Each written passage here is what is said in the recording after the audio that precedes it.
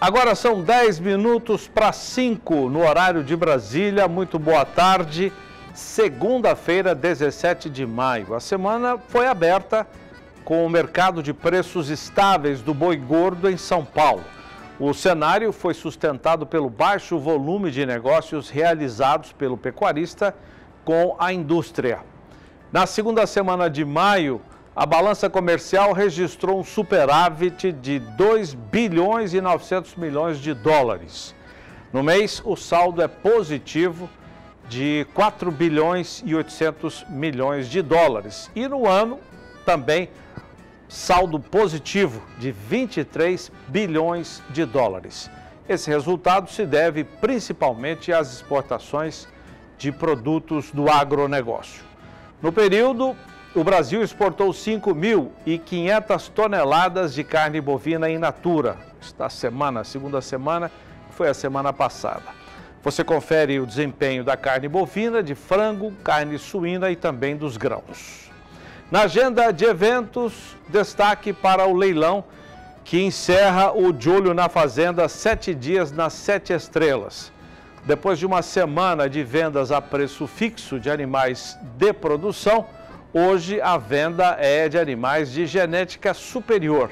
São matrizes Nelore avaliadas e touros indicados para coleta de sêmen em central de inseminação artificial ou ainda touros indicados para repasse de vacas no campo. São as ofertas do leilão que o canal do Boi transmite logo mais às 8 horas no horário de Brasília, com realização da Central Leilões. Estes são alguns dos assuntos que você vê a partir de agora no Mais Pecuária.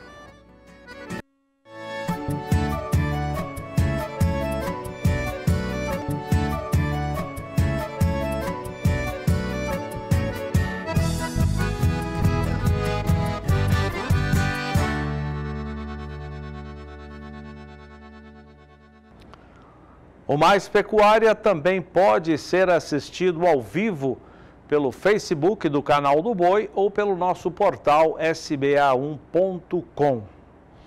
A Coop Carnes é uma cooperativa de produtores de bovinos de corte do norte do Paraná.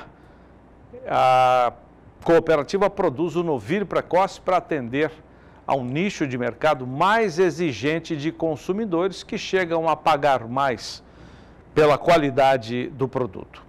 Veja mais com o repórter Mauro Andrade. A Copcarnes, Cooperativa de Carnes Nobres do norte do Paraná, trabalha com as raças britânicas, especialmente Aberdeen Angus e Hereford, abatendo os animais abaixo de 24 meses. Geraldo Morelli, zootecnista e gestor da Copcarnes, fala dos critérios adotados para manter a qualidade dos animais abatidos. O produtor hoje da Copicarne, ele tem que se organizar em termos de trabalhar com um padrão de qualidade que a cooperativa vem buscando e que o mercado vem exigindo, que é, são produtos de cruzamento com raças britânicas. Né? Hoje praticamente dá para dizer que 90, 95% do produto da cooperativa é cruzamento com raças britânicas. Aí entra o Angus, entra o Hereford, entra uh, os produtos como Braford, Brangus, enfim são esses produtos. Para isso ele também tem que se organizar para terminar esses animais aí dentro da faixa de idade que a cooperativa trabalha, que são animais no máximo até 24 meses, tanto macho quanto fêmeas. E para ele conseguir fazer com que esse produto chegue até os 24 meses, ele tem que trabalhar uma boa estratégia. Primeiro, ou comprar ou produzir uma boa genética, que hoje a maioria usando aí da da IATF tem conseguido trabalhar com um produto bastante superior e que conseguem aí fazer essa terminação com um animal relativamente pesado. Fêmeas hoje na cooperativa se abate aí por volta de 14, 15, 16 arrobas e macho em torno aí de 20 a 22 arrobas. O produtor associado da Cop Carnes deve atender algumas exigências em termos de acabamento para entregar um produto dentro dos padrões de qualidade que o mercado deseja. E quando a gente fala em qualidade de carne, a gente está falando em idade do animal, precoce ou até super precoce. Nós estamos falando na questão de uma carne com bom acabamento e também marmoreio, que é uma coisa que caracteriza bastante essa qualidade dessa carne que a gente vem colocando no mercado e que o mercado vem exigindo, né? De Arapongas, no Paraná, Mauro Andrade. Os custos para produzir frangos e suínos subiram 40% em um ano. O cálculo é da Embrapa e o assunto é um dos destaques de mercado ao vivo da BBM, Bolsa Brasileira de Mercadorias, com a Sara Kirchhoff. Uma elevação muito grande nos custos, não é, Sara? Muito boa tarde. Exatamente, Zaidan. Muito boa tarde para você, boa tarde a todos. Um assunto que a gente tem trazido aqui, né, especialmente no que se refere à ração animal, por causa do preço do milho que tem subido muito, batido recordes históricos no Brasil. E esse levantamento da Embrapa, ele realmente mostra, né, de fato, essa elevação aí, como você falou, bem significativa de 40% ao longo dos últimos 12 meses. E o cenário se manteve em alta durante o mês de abril e a gente vai ver em tela de quanto que foram essas elevações nessa pesquisa que é medida pelo, pela Central de Inteligência de Aves e Suínos da Embrapa.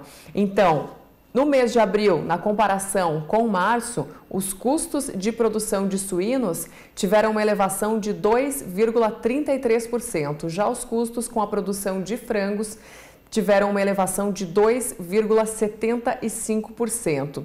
Em relação ao ICP suíno, em 2021, só agora esse ano, a elevação já chega a um total de 7,11% e no mês de abril, pela primeira vez, esse índice ultrapassou os 400 pontos. E no acumulado de 12 meses, a alta está em 44,55% do ICP suínos. E a pesquisa destaca que o custo de produção por quilo do animal vivo está em R$ 7,03. Em relação a esses números, a alimentação ela representou 82,11% dos custos de produção no caso da suinocultura, segundo esses números mostrados pela Embrapa. 82,11% dos custos totais vem da alimentação. Aí dentro da alimentação a gente destaca o milho, que respondeu por 46,88% dos custos, com valor extremamente elevado, como a gente sabe, a saca acima de 100 reais. O farelo de soja respondeu por 25,37% dos custos totais, os núcleos vitamínico-minerais por 8,3% e o farelo de trigo por 1,5% dos custos totais. Já em relação ao ICP frango, começando a destacar o mês de abril, o índice da avicultura medido pela Embrapa, ele teve uma elevação de 2,75%. Em 2021, um avanço de 14%, 14,08%, e nos últimos 12 meses, uma alta de quase 40%, 39,78%, um pouquinho abaixo em relação ao de suínos, mas ainda assim uma elevação muito significativa.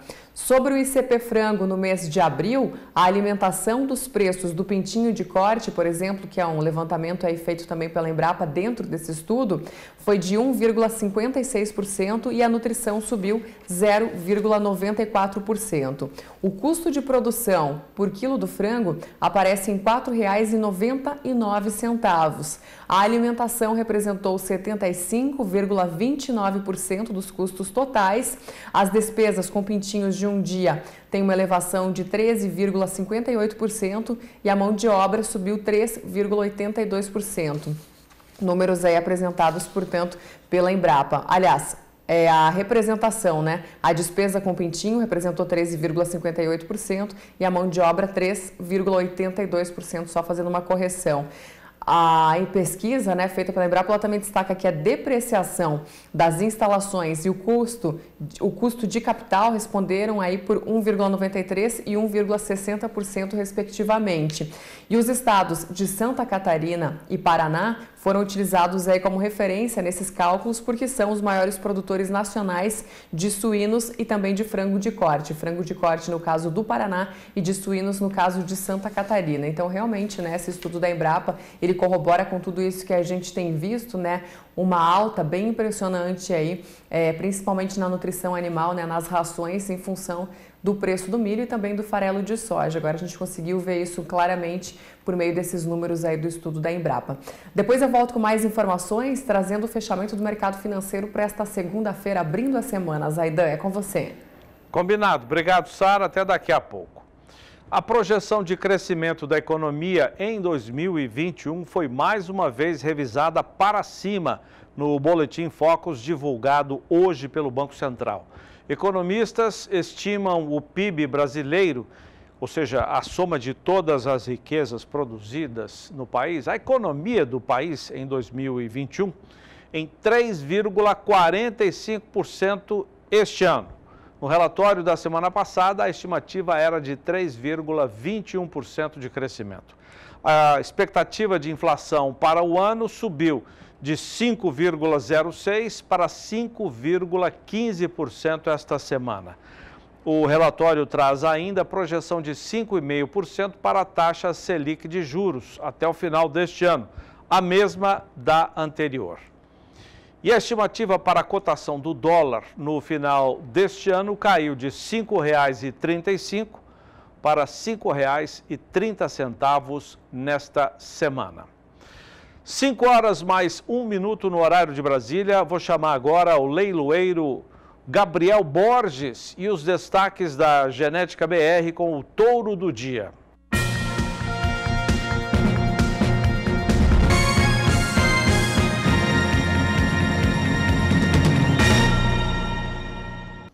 Olá, obrigado mais uma vez aqui com a ação todo do dia, trazendo no Genética BR uma ação espetacular, válida para o dia de hoje, segunda-feira, dia 17 de maio, um toraço, um toraço numa condição excepcional para você. A ação todo do dia ela é válida só para o dia de hoje, dia 17, onde a gente pega o sêmen de um raçador e a gente faz um desconto absurdo, como você vai ver aí na sequência. É o touro eficiente FVC, é um touro que normalmente nós trabalhamos ele aqui a 18 reais a dose de sêmen e hoje na ação todo do dia, válido até a meia-noite de hoje, nós vamos colocar as suas doses de sêmen por apenas 12 reais. Olha que coisa boa, que extraordinária configuração patrimônio genético que tem esse touro, e ele que vem aí com índice genômico de 18,43, é um filho do rei armador, na Sumaia, que vai ao grande quark da colonial, que vai ao grande Zefec Abdala. Patrimônio genético também. Na linha baixa materna, Sumaia, a mãe dele, é filha do grande ilíaco da Java, touro de configuração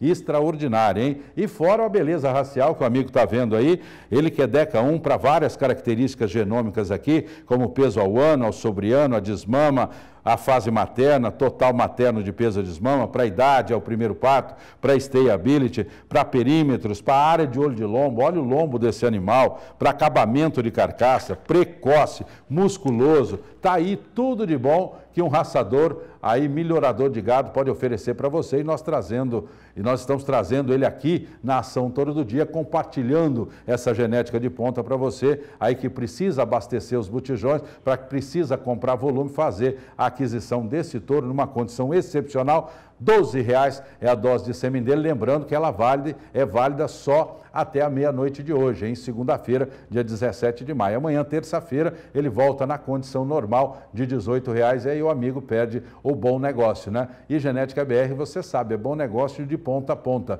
Começa não tendo aí a comissão para pagar, vai pagar só as doses adquiridas, pode parcelar em até seis vezes com parcela mínima de 500 reais. Acima dos 3 mil, entregamos para você com frete por nossa conta e agora essa opção do Toro do Dia que possibilita você fazer um investimento menor na compra de volumes. Eu vou ficando por aqui, agradeço mais uma vez a grande oportunidade, mas olha, reflete aí, até a meia-noite só. Um abraço.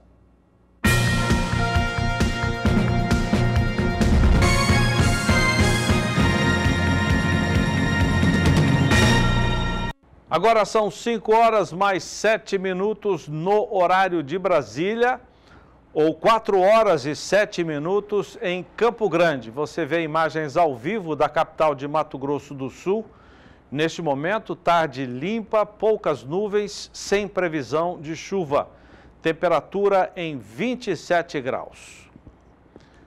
Mudanças no comando da Secretaria de Agricultura do Estado de São Paulo. Gustavo Junqueira que estava titular desde o início da gestão do governador João Dória, do PSDB, vai assumir a presidência da Agência Estadual de Promoção de Investimentos do governo, a Investe SP, que possui escritórios no Brasil e até fora do país, como em Xangai, na China. A pasta passará a ser comandada pelo deputado estadual Itamar Borges, do MDB, o anúncio foi feito em nota distribuída ontem à noite. O ex-presidente da Invest SP, Wilson Melo, volta a trabalhar na iniciativa privada, segundo a nota. Veja agora as informações da Casale.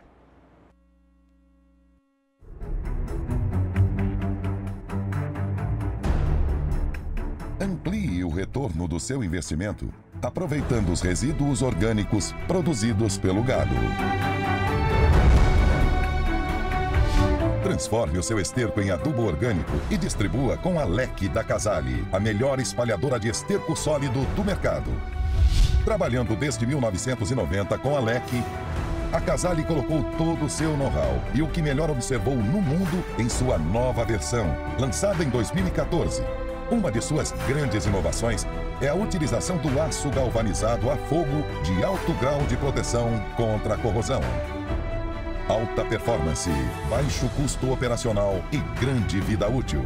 A LEC distribui em uma faixa de até 12 metros, controlando a quantidade distribuída por hectare através da regulagem da velocidade da esteira e da abertura da comporta.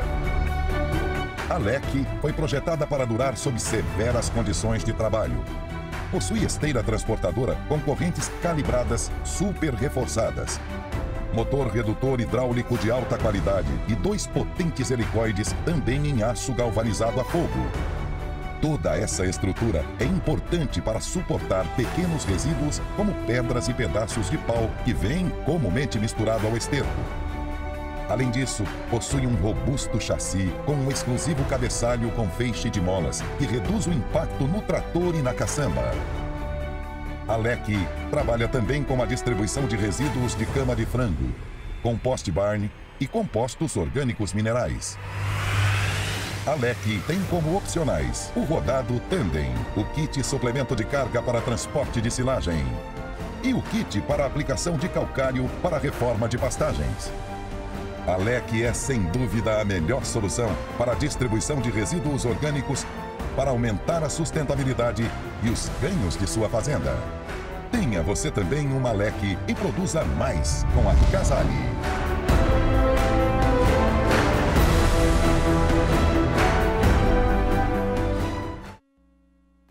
No comentário de hoje, Antônio Resch destaca que é inegável a modernização da pecuária de corte.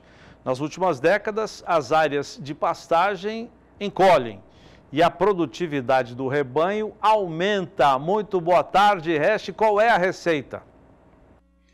Olá, Jorge. Muito boa tarde. A receita, meu amigo, é tecnologia. Como você sabe, 85% do, do, dos animais abatidos no Brasil são oriundos de pasto.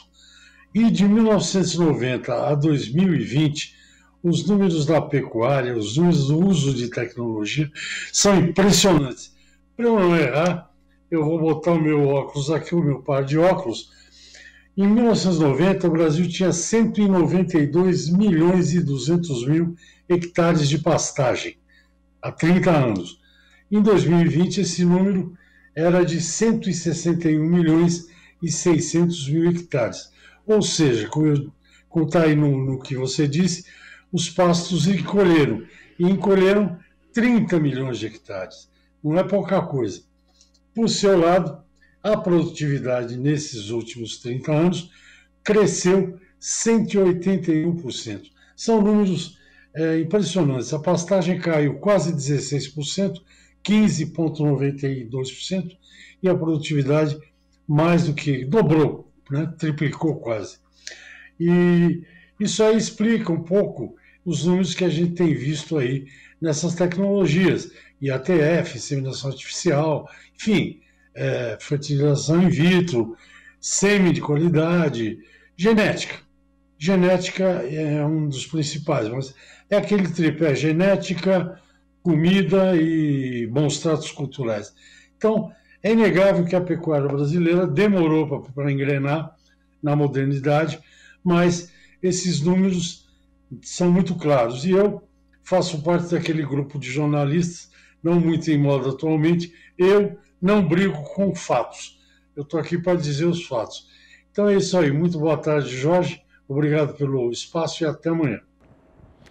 Valeu, Resch. Eu concordo com você. Concordo com você. O pecuarista brasileiro hoje é, está engajado e muito no uso da tecnologia. E até me lembro, já que você tocou nesse assunto, me lembro de vários estudos do nosso amigo, né, o analista, consultor de mercados, o Maurício Palma Nogueira, diretor da Atenagro, que é uma empresa de consultoria, o tanto que ele bate, bate, bate falando sobre a importância do uso da tecnologia.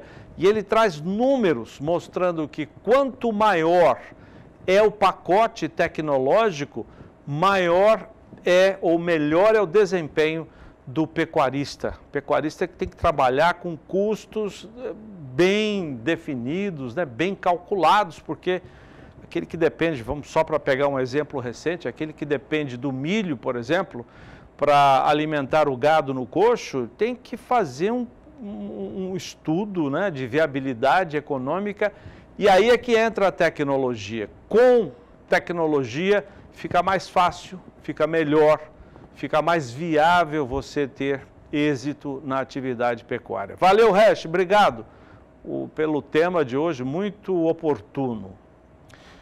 O Canal do Boi participou mais uma vez de uma grande expedição com um dos seus parceiros, a Catayama Pecuária. Nós percorremos uma região do Brasil onde a pecuária funciona em extensões menores do que aqui estamos habituados a ouvir falar. Foi até a sequência do, do assunto do Antônio Resch.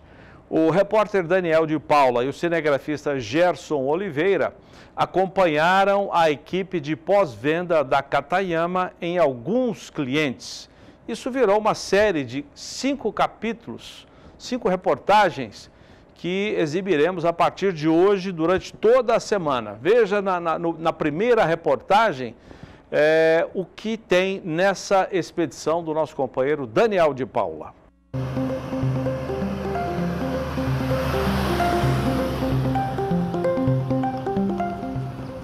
Em 2020, um pouquinho antes de eclodir a pandemia no mundo e aqui no Brasil fechar tudo, nós saímos numa expedição pelo Mato Grosso para entender um pouquinho de onde vem tanta aceitação, tanta fidelização dos clientes que usam a genética Katayama pois nesse ano de 2021, já devidamente escolados, nós estamos saindo de novo.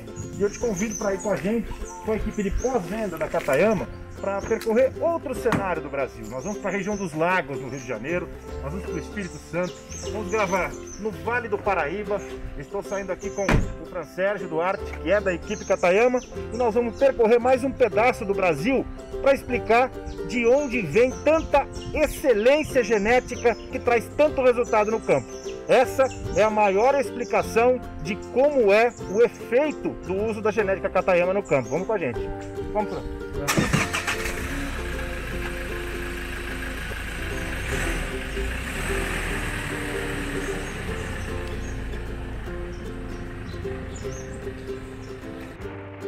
A viagem em busca desses resultados percorreu mais de 5 mil quilômetros em oito dias. Cruzamos cinco estados do Brasil e em três deles visitamos nove fazendas com o objetivo de buscar em regiões com uma pecuária menos extensiva exemplos do que uma genética é capaz de proporcionar em rebanhos menores que os que estamos acostumados a ver em outras fronteiras agrícolas de grandes dimensões. E o que encontramos foi a importância que existe em se preocupar com qualquer que seja o tamanho do produtor, de onde quer que ele seja, e qualquer que seja a sua necessidade. Essa, essa relação, essa preocupação com o cliente é independente do tamanho do projeto dele, independente de quantos animais adquiridos junto a nós. Né? A nossa intenção é de estar presente com o cliente em toda a situação possível, né? proporcionando é, uma segurança né, e um apoio. Segurança que começa sempre nas indicações do investimento. a fêmea ou o touro que pode contribuir mais para o melhoramento genético de cada rebanho, no Vale do Paraíba, São Paulo, na região dos Lagos, Rio de Janeiro, nas desafiadoras colinas do Espírito Santo ou numa fazenda dentro de Marília. O importante é a aproximação que a equipe da Catayama oferece ao produtor para que ele tenha o melhor resultado. O trabalho a gente visualiza toda a situação possível para montar uma indicação, né, desde o objetivo da produção, tipo de vaca, né, tipo de fazenda. Então tudo isso a gente leva num contexto para que faça uma indicação para o cliente de realmente um animal que vá levar produtividade, né, e que venha satisfação. E o que encontramos em todas as fazendas que visitamos e que vamos mostrar nas reportagens seguintes foi uma reverência geral dos produtores com o diferencial do pós-venda da Catayama e, claro, com o lucro que o investimento nessa genética levou a cada sistema de produção, seja comercial ou de mais genética fornecida para essas regiões visitadas. Ninguém vive sem lucro. Né? Então a propriedade precisa ter lucro, precisa ter rentabilidade. Né? E ver uma situação dessa, onde foi indicado o indivíduo, né? que melhora -se, melhor poderia se adequar àquele sistema, trazer mais produtividade, trazer mais lucratividade para o cliente e, e, ver que isso é concreto, está aqui no campo, para a gente é, é super gratificante. E, né? E se está acontecendo, estamos no caminho correto. Caminho que vamos mostrar em detalhes de cada região das que visitamos para dar o exemplo de que uma genética bem selecionada consegue cumprir o objetivo de agregar valor em pecuária de corte.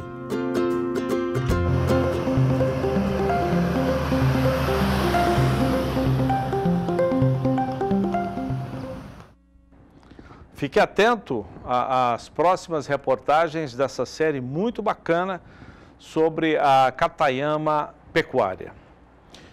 São 5 e 19 agora, na segunda semana de maio, a balança comercial registrou um superávit de 2, vamos arredondar aqui, 2 bilhões e 900 milhões de dólares. No mês, o saldo é positivo de 4 bilhões e 800 milhões de dólares, ou seja, a diferença entre o que o Brasil exportou e o que ele importou.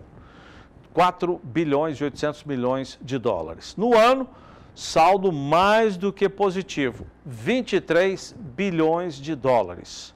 Grande parte desse saldo positivo se deve às exportações do agronegócio puxadas pela soja. Nós vamos saber quanto que o Brasil exportou dos principais produtos do agronegócio na segunda semana, nós começamos pela soja.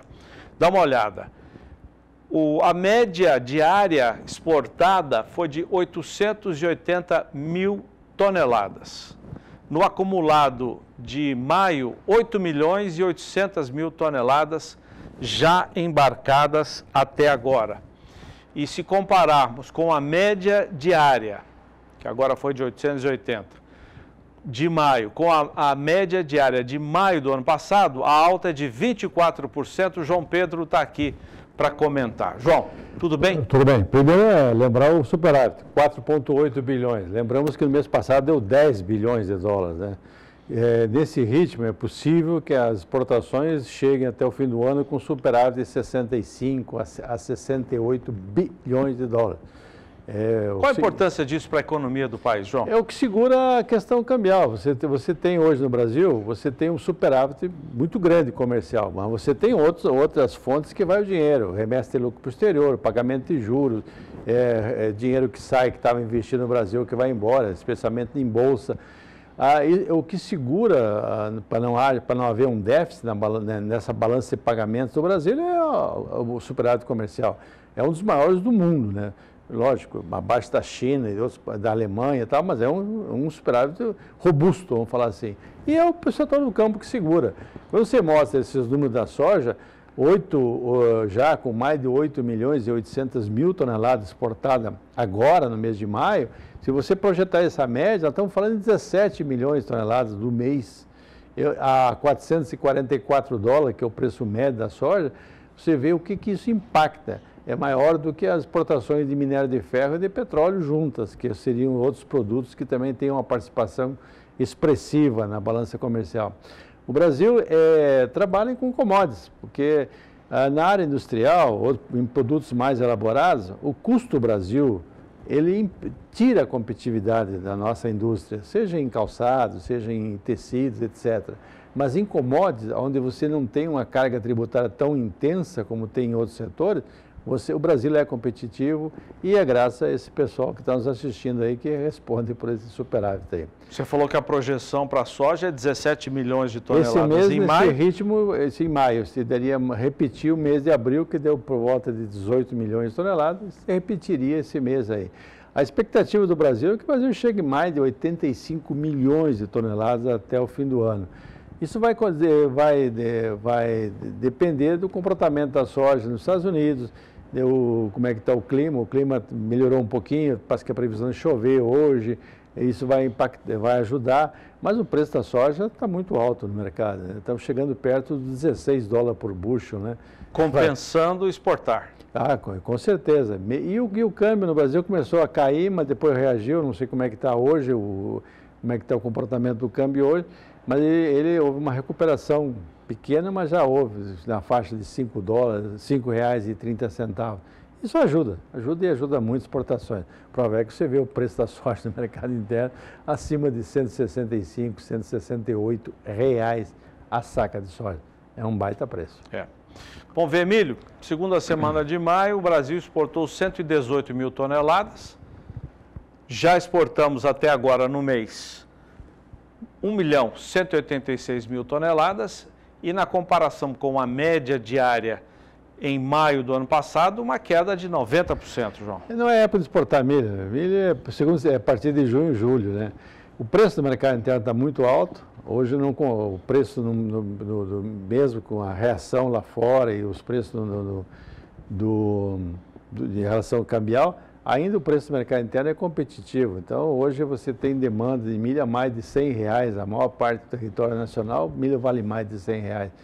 E isso atrapalha e atrapalha muito os demais setores, né? É, a Embrapa divulgou hoje o custo de produção do suíno em R$ 7,00 o custo do quilo vivo do suíno e R$ 5,00 o custo do quilo vivo do frango. Do frango. Nos casos do suíno, 82% é alimentação. E aí o milho responde por quase a metade, 50%. Uhum. E nós estamos, eu, e nós que falamos muito a respeito de, de, carne bovina, fica, fica a dúvida no ar o custo de produção do, do boi confinado. O boi confinado, tá, você vai ter 30% do custo dele, basicamente cai em cima da alimentação.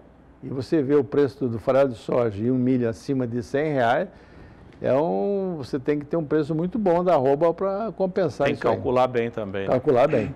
A Sara trouxe agora há pouco esse estudo da Embrapa que você mencionou, do aumento no custo de produção dos suínos e dos frangos, da carne de frango.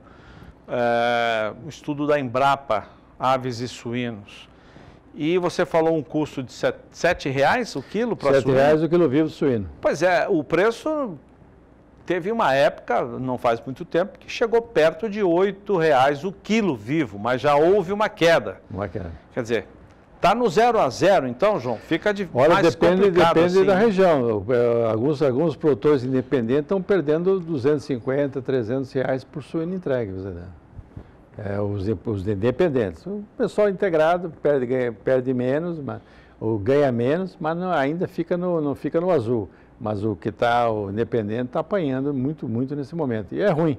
Era uma pena que muito produtor, como aconteceu em 2016, muito produtor saiu fora do mercado, porque o custo de produção era maior do que o preço que ele, que ele eh, conseguia receber no quilo vivo do animal que ele vendia. Né? Então isso é ruim. É ruim porque é um setor que precisaria ter um estímulo. O pessoal está pedindo para tirar o PIS/COFINS na, na, importação de milho, na importação de milho. Como é que o milho lá fora também está caro e o câmbio está alto, então é mesmo que tirando PIS/COFINS, é, não vai haver uma diminuição significativa do preço do milho internalizado no Brasil. É porque tem frete, tem custos internos. Tem custo portuário, que é mais caro no Brasil. E outra coisa, isso vai, isso vai ser muito fator psicológico, ou seja, ah, está chegando um navio, dois navios de milho e tal. E, as, e os grandes consumidores, você tem hoje quatro, cinco grandes consumidores, vão, vão importar sim, mesmo que eles paguem o mesmo preço que está no mercado interno até pelo fator psicológico para motivar a oferta maior de milho que está hoje armazenada no Brasil.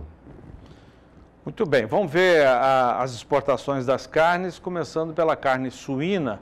Na segunda semana, 4.340 toneladas. No acumulado do mês, 43.500 toneladas, arredondando.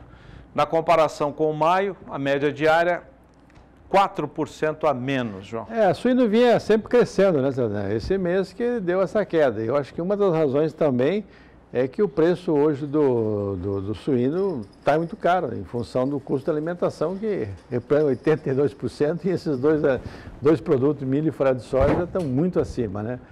Mas era uma carne que vinha aumentando, mas esse número ainda é um número expressivo. Nós estamos, se você multiplicar isso pelo número de dias úteis, nós estamos falando em mais de 85 mil toneladas de carne in natura. Se você somar os demais produtos, carne processada, etc., etc., vai dar bem acima de 100 mil toneladas dia. Então é um número bastante alto.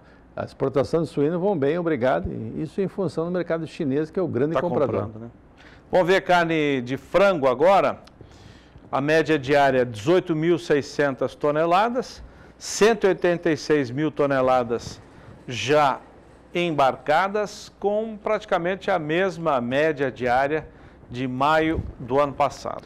Essa é uma surpresa, né? porque o grande comprador, um dos grandes compradores nossos era a Arábia Saudita, e ela está colocando dificuldade toda hora em relação às importações de frango brasileiro, colocando questão, é, desabilitou 11 grandes frigoríficos brasileiros, quer, quer agora que, que o frango congelado tem um prazo muito pequeno de validade lá, porque você tem o tempo de levar ele até chegar no porto e tal, eles querem reduzir de forma significativa isso. O Brasil, inclusive, pode haver uma, um questionamento do Brasil na OMC sobre essas novas medidas da Arábia Saudita, que foi o maior comprador do Brasil. Hoje não é, mas, foi um, é um, mas ainda é um grande comprador, mas colocando dificuldade mês a mês, aumentando a dificuldade.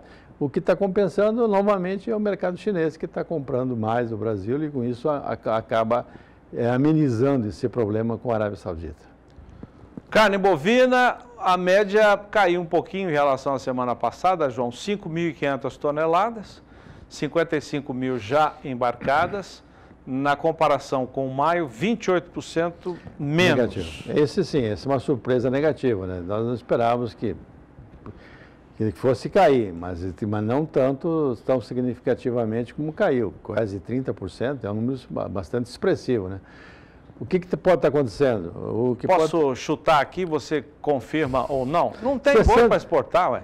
Também. Não tem boi para o mercado interno, não, deve, não tem também para é, exportação. Eu acho que não tem esse animal, porque 60%, 48%, 49% vai para a China continental, e que é animais novos, bem acabados, etc. Acho que eu, ou não tem essa oferta de animais, acho que esse é um dos fatores que deve realmente estar impactando. O câmbio estava 5,70, 5,65, caiu um pouco, mas mesmo assim ainda é competitivo nossa carne.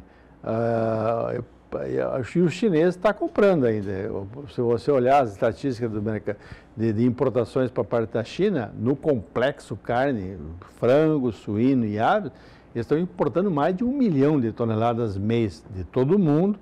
Estão habilitando mais frigorífico nos Estados Unidos para habilitando mais lá, não estão habilitando novos aqui no Brasil, mas o Brasil mesmo assim ainda ocupa uma fatia muito significativa desse, dessas importações chinesas que chegam a 900, quase um, mil, um milhão de toneladas mês da, do complexo de carne. Eu também, eu concordo com você, talvez seja o, o fato que não tenha muita oferta de animais pronto no padrão China. Vamos ver o preço da tonelada de carne bovina. Na segunda semana, 4.891 dólares a tonelada da carne bovina exportada pelo Brasil. É o que o frigorífico exportador brasileiro faturou por tonelada, 4.891 dólares. Na comparação com a tonelada em maio do ano passado, uma alta de 11%. Lá na, há um ano atrás, a tonelada era negociada a 4.395 dólares. Esse aumento em dólar está compensando, mas agora você tem que ver, o chinês está comprando também carne de traseiro, não é só carne de dianteiro, que é o básico que o brasileiro exportava. Mas como eles compram metade da carne brasileira, esse, isso deve ser uma das razões que o preço médio está subindo, né, Zé? É. João, obrigado. Bom trabalho, Zé. Até amanhã. Deus quiser. Intervalo comercial, nós já voltamos. Agora são 5 horas e 35 minutos no horário de Brasília. Voltamos com imagens ao vivo de Florianópolis, a capital catarinense. Neste momento, você vê o céu bastante nublado, temperatura caindo. Neste momento, na casa de 24 graus. Mato Grosso do Sul está no topo da lista dos estados que mais investem na integração lavoura, pecuária e floresta. E entre os cinco que mais adotam o manejo sustentável no plantio direto. Reportagem de Vinícius Souza.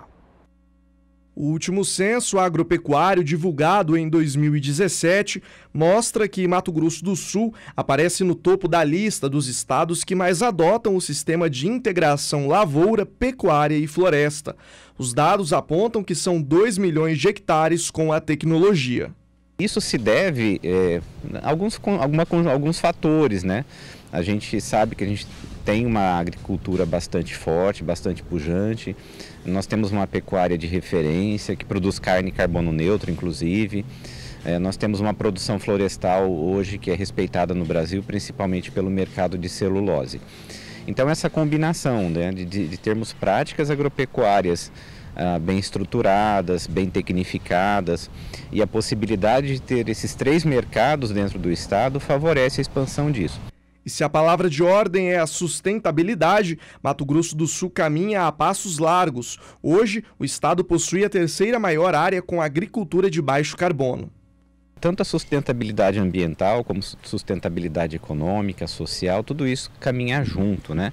Ah, se a gente pensar na área ambiental, né, um sistema integrado tem mais, tem maior teor de matéria orgânica no solo, consequentemente tem maior infiltração de água, tem menor erosão né, tem maior fauna de solo, né, que seriam os, os pequenos insetos né, que, que, que, estão no solo, os micro-organismos. Ah, tudo isso favorece uma conjuntura ambiental muito melhor. E os benefícios também são percebidos no retorno financeiro aos produtores que passam a investir no sistema. O produtor deixa de ter uma única fonte de renda e tem várias fontes de rendas dentro da fazenda. Então, o sistema te dá ganhos ambientais, te dá ganhos sociais e principalmente econômicos. Você sai do monopólio, você sai de uma única receita para várias receitas dentro da fazenda. Mas o plantio de árvores pelo sistema ILPF deve obedecer alguns critérios na hora das escolhas das espécies. Isso porque a escolha também é pensada na questão do retorno financeiro.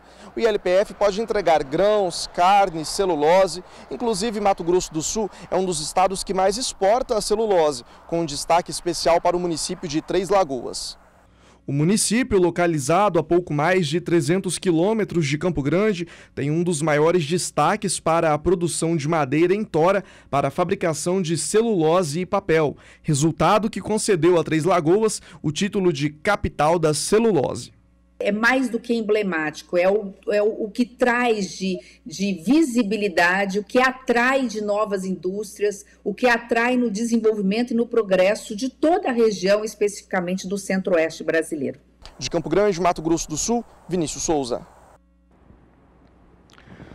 Milhares de pessoas comandadas por produtores rurais manifestaram no último sábado em Brasília apoio ao presidente Jair Bolsonaro.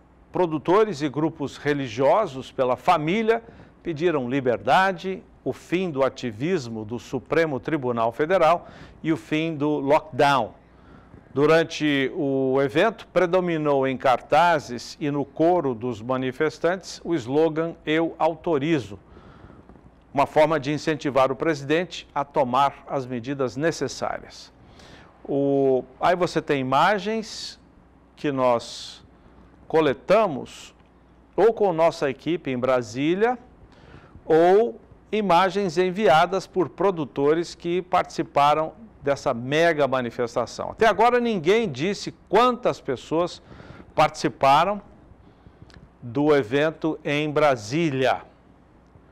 A polícia não divulgou, os organizadores do movimento também não. E agora eu vou chamar a repórter é, Berenice Leite, nossa correspondente em Brasília, que traz mais informações sobre a manifestação deste sábado. Milhares de pessoas ocuparam a esplanada dos ministérios. Produtores rurais dos quatro cantos do país se mobilizaram até a capital federal, assim como os caminhoneiros. Eram centenas deles. E juntos mostraram a força do agro.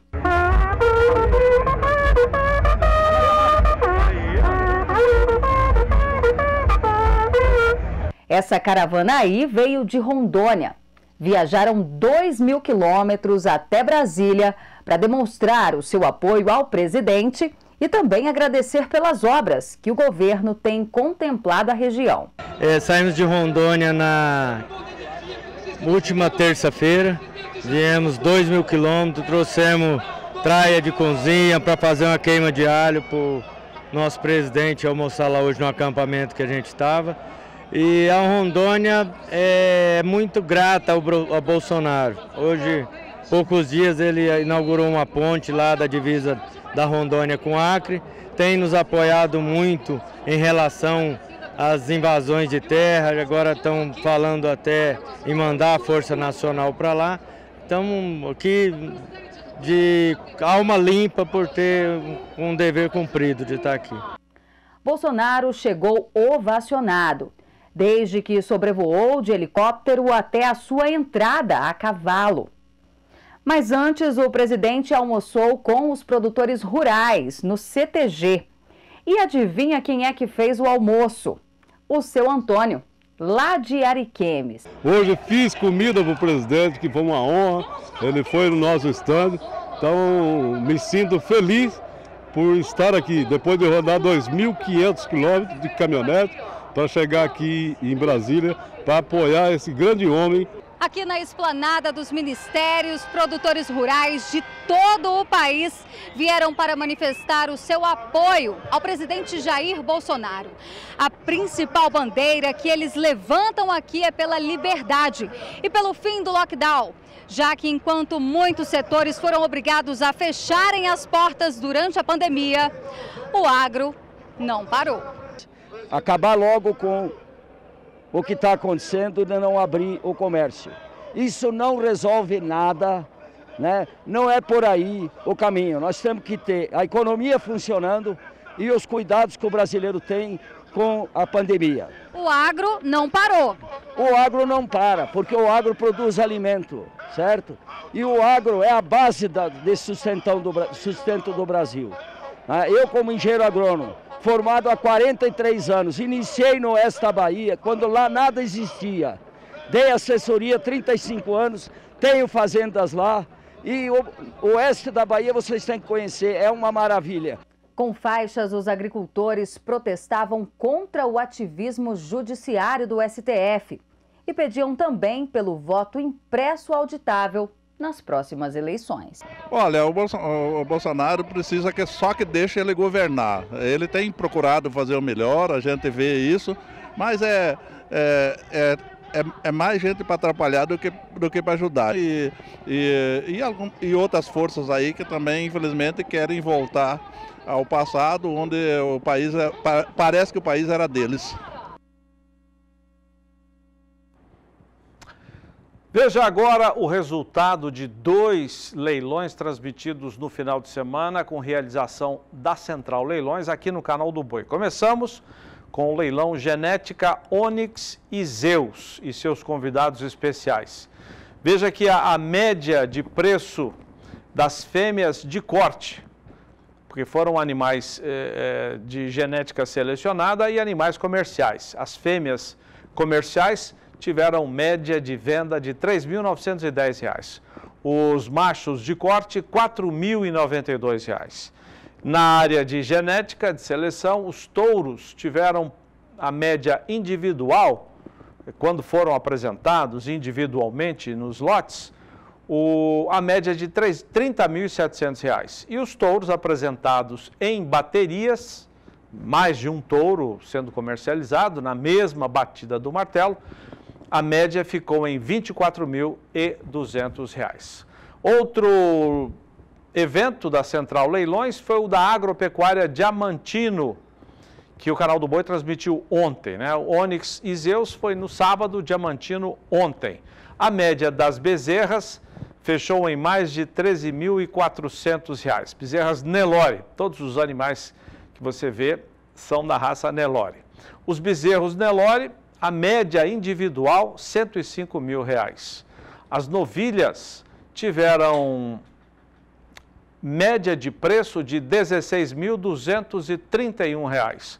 Os garrotes, mais de 24 mil reais a média eh, de venda e a média das vacas Nelore, R$ 13.500. Agora são 14 minutos para 6. Nós continuamos a falar de evento, falamos de Nelore, falamos de seleção.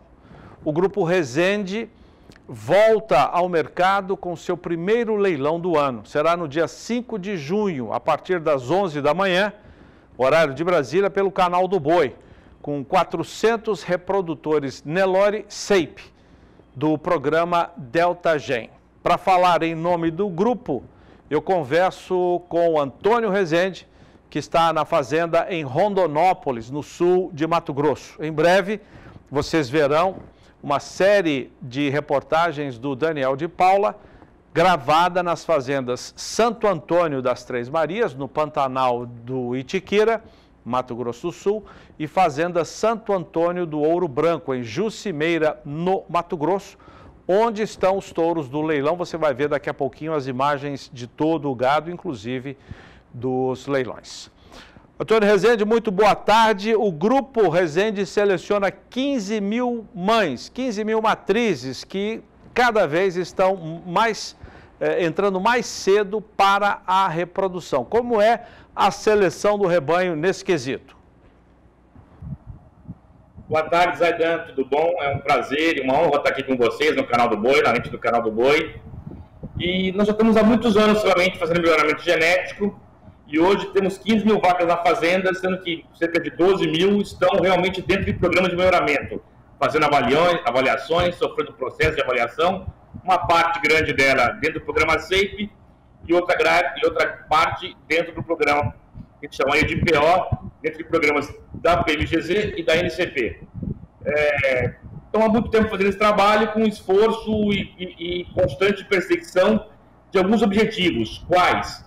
Para nós, principalmente, uma vaca tem que ser fértil, precoce, dar um bezerro produtivo, interessante e, e que possa enxertar cada vez mais cedo e que seja uma vaca que enxerte muito rapidamente e o macho que tem um bom desempenho no confinamento, porque o nosso negócio é ciclo completo e temos de fato que ter um bom desempenho também na engorda no confinamento.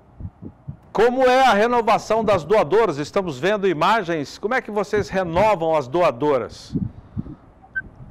Bom, primeiro, é, da bezerrada toda que nasce, é feita uma seleção delas pelos próprios programas e em cerca de metade delas nós fazemos genômica também para confirmar e para poder avaliar quais são as melhores animais e que confirmem genomicamente para poder desafiá-las cada vez mais cedo, escolhendo é, esses animais, porque a única forma que a gente encontra de fazer um melhoramento genético mais rápido, mais acelerado confiamos nos nossos trabalhos, confiamos no, na, na Delta Gen, no programa Delta Gen, nesse caso, e de fato usamos a genômica para poder acelerar cada vez mais as doadoras. Então temos doadoras nossas hoje, Zaidan, que estão aí com 12, 13 meses e já doando bezerros.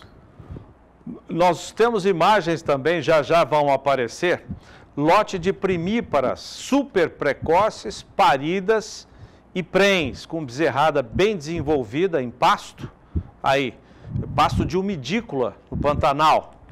É a seleção pela precocidade, é assim que vocês chamam esse tipo de seleção? É, eu acho que sim, poderia chamar assim. Acho que nós temos animais equilibrados e nós temos realmente como objetivo principal que esta vaca enxergue cada vez mais cedo. É um gado muito dócil, como pode estar observando, muito manso e que boa parte delas vai ao desafio entre 11 e 14 meses, essas novilhas, e agora estão parindo aí com idade de que as outras iriam pela primeira vez para monta, elas já pariram e agora, nesse caso aqui, elas têm 27, 26 meses e já estão paridas e prenhas novamente. Então isso é uma diferença muito grande, né? De melhoramento e é o que a gente sempre busca e alcançar. Esse aqui é o lote delas, é um lote grande. Nós tivemos cerca de 700 nessa fazenda, mais umas 500 e tantas, 600 na outra, precoces paridas. E esse ano desafiamos quase 3 mil novilhas de 12 a 14 meses. Estamos muito esperançosos, já temos cerca de 50% de prenhez confirmada e tem o restante da fazer diagnóstico, calculamos que deve chegar em uns 70%. E todo mundo fica com medo de desmanchar as ideias primíferas. Olha aí, ó, problema nenhum. Não desmancharam, estão muito bem e, e, vão enxertar agora e vão produzir seu segundo bezerro já muito precoces e muito novas. Qual é a produção esperada das fêmeas super precoces paridas este ano? Este ano, é, nós vamos ter as super nós calculamos que vão ter cerca de entre 1.500 e 2.000 prenheses. Portanto, nós estamos desafiando cerca de entre 2.500 e quase 3.000, 2.600 e poucas novilhas calculando que vão ter 70%, 75% delas. Então, vão parir com 20 meses de idade, duas mil e poucas ovelhas. Todas serão filhas de super precoce. Portanto, é uma maneira de estar acelerando o ganho genético disso e fazendo uma novilha que enxerta cada vez mais cedo, mas que não se desmancha, que continua produzindo e produzindo bem. Como é que vocês, do Grupo Resende, fazem a separação dos bezerros? das mães, como é que é a desmama? Que tipo de diferença isso tem no processo de seleção? No processo de seleção, especialmente nenhum. O que acontece é que esses, para essa seleção, Zaidan, especialmente, o que nós temos é grupos de manejo muito formados, prontos, que são animais que estão com a mesma idade, com o mesmo nascimento, que vão todos para avaliação sobre as mesmas condições. E depois da desmama, a gente faz uma desmama cruzada, que a gente chama, deixando a vaca do lado da mãe. Isso não especialmente para o melhoramento genético, mas por um conforto para o bem-estar, para o bezerro ficar mais tranquilo, mais dócil, ele está ali sentindo a mãe, cheirando a mãe, olhando a mãe, então ele tem menos estresse. É lógico de vez em quando um ou outro vaza a cerca ali, mas a gente torna a separar de novo, mas fica, vamos dizer assim, uma, uma desmama muito menos traumática, muito mais tranquilo, sabe? Que traz conforto para o gado, tranquilidade. Isso tudo é manejo que vai tornando seu gado mais dócil, mais tranquilo, e isso tudo ajuda depois na fertilidade e na produção dos animais. Isso interfere positivamente no ganho em peso do, da, do, dos animais jovens? Basicamente, Zaidan, essa, essa desmame em si não interfere em ganho em peso. Ela ajuda muito a não perder o peso depois da desmama, o que é também muito importante. Então, quando ele fica tranquilo, ele não tem o estresse, o estresse é menor aqui, ó. Estava mostrando aqui agora uma vaca bezerro mamando de um lado, e a vaca dava do outro lado. Tem menos estresse, portanto ele perde menos peso. É uma, é uma zona mais tranquila, mais fácil, mais amigável, vamos dizer assim. Antônio Rezende, vamos falar dos touros agora. Os touros que, inclusive, serão é, objeto do leilão do dia 5 de junho, né? 400 reprodutores Nelore. Nós temos imagens também de alguns dos seus reprodutores. Queria que você falasse sobre eles. Olha, são 400 reprodutores, todos com uma docilidade impressionante, estão tranquilos, estão mansos, estão prontos para monta, tem 30 meses. O que nossos clientes mais gostam é que eles não desmancham, eles seguem na monta e saem da monta em muito bom estado, tem altos índices de prenhez e são todos com genômica, ou seja, as avaliações deles têm muito mais acurácias, muito mais assertividade para quem comprar. Quem compra tem muito mais garantia e certeza daquilo que está levando para casa. Nós procuramos sempre fazer animais que sejam eficientes, produtivos, precoces, que tenham uma boa carcaça uh, e que produzam uma fêmea muito fértil e precoce e um macho que também tem um bom ganho de desempenho e que fique pronto às 23 arrobas até os 24 meses. Esse é o nosso objetivo para nós mesmos, inclusive. Antônio Rezende, um dos diretores do Grupo Rezende, né? Muito obrigado pela sua entrevista aqui conosco. Desde já, nosso, os nossos cumprimentos por essa seleção, que hoje é um modelo para o Brasil, e a nossa, o nosso desejo de que o leilão seja traduzido eh, ou traduza o trabalho que vocês têm de seleção do gado Nelore. Que seja um sucesso o leilão, Antônio Rezende. Muito obrigado, Zaidan, eu que agradeço. e que, amém para as suas palavras, que de fato seja um sucesso e que o mercado venha colaborar isso e que tudo corra muito. Muito bem. É, nós perdemos o, o finalzinho da, da, da, fala do Antônio Rezende, que é um dos diretores do Grupo Rezende, mas ele já estava se despedindo da gente. Muito obrigado a ele pela entrevista e fica o convite para você acompanhar o leilão no dia 5 de junho, às 11 da manhã, no horário de Brasília, com realização da Central Leilões. Intervalo comercial, na sequência, a agenda de eventos da Ricardo Nicolau Leilões. Até já! O Mais Pecuária destaca agora 5 horas e 58 minutos no horário de Brasília, a agenda de eventos da Ricardo Nicolau Leilões. Vamos até o norte do Mato Grosso, a Sinop, com o nosso companheiro Arnaldo Campos, leiloeiro, que comandou uma excelente atração ontem à tarde aqui. Conta pra gente como é que foi esse leilão. É Casari Rabessini, o Arnaldo? Meu caro Zaidan, muito boa tarde a você, boa tarde aos amigos de casa. Você foi muito feliz na sua colocação, né? Uma excelente realização ontem à tarde, Casari Rabessini. Um leilão com 3 mil 855 cabeças, um gadão extraordinário, gado de criadores, além de casar e rabecine, os convidados trouxeram o que tinha de melhor, um leilão assim, com muita energia do começo até o final, um leilão com a liquidez extraordinária, mostrando, viu Zaidan, embora a gente tenha falado que passou meio que uma frente fria no mercado do boi gordo, essa frente fria não atingiu é, o mercado de reposição, viu? Ontem o mercado de bezerro, de cruzamento industrial, de garrote, de vaca prenha, de vaca parida, de bezerra, se mostrou muito firme, muito comprador. Então, parabéns mais uma vez, Casar e Rabecine e seus convidados, um leilão realmente extraordinário. Mas seguimos em frente, né, meu caro Zaidan? E quarta-feira tem mais, e agora pelas lentes do Canal do Boi, às 20 horas, horário de Brasília, às 19 horas, horário aqui de Mato Grosso. E aí a gente vem com um Caiado Fraga, né? A gente vem com oferta de reprodutores, né? A ferramenta de produzir o bezerro valorizado, né? O Caiado Fraga, muito caprichoso, um projeto de seleção já de muitos anos ali na região noroeste do Mato Grosso. Na verdade, a Caiado Fraga tem mais de 100 anos de história, né? Que iniciou no Cimental, lá no Espírito Santo, com central de transferência de embriões e tal, uma história muito bonita de quem vive da pecuária. E aí, vindo para o Mato Grosso, começou a trabalhar mais fortemente no Guzerá e no Nelore, e essa oferta de quarta-feira, então, Nelore, 100% Nelore, da genética Caiado Fraga. Pode trazer o lote 1 para mim, Carol. Recolhe o lote 1 para mim. Quero mostrar para os amigos de casa. É o lote número 1, filho do Logan da Digênio, um garrote bonito, um garrote muito carcaçudo, olha que garrote de uma pelagem branca, mas é aquela pelagem firme, né?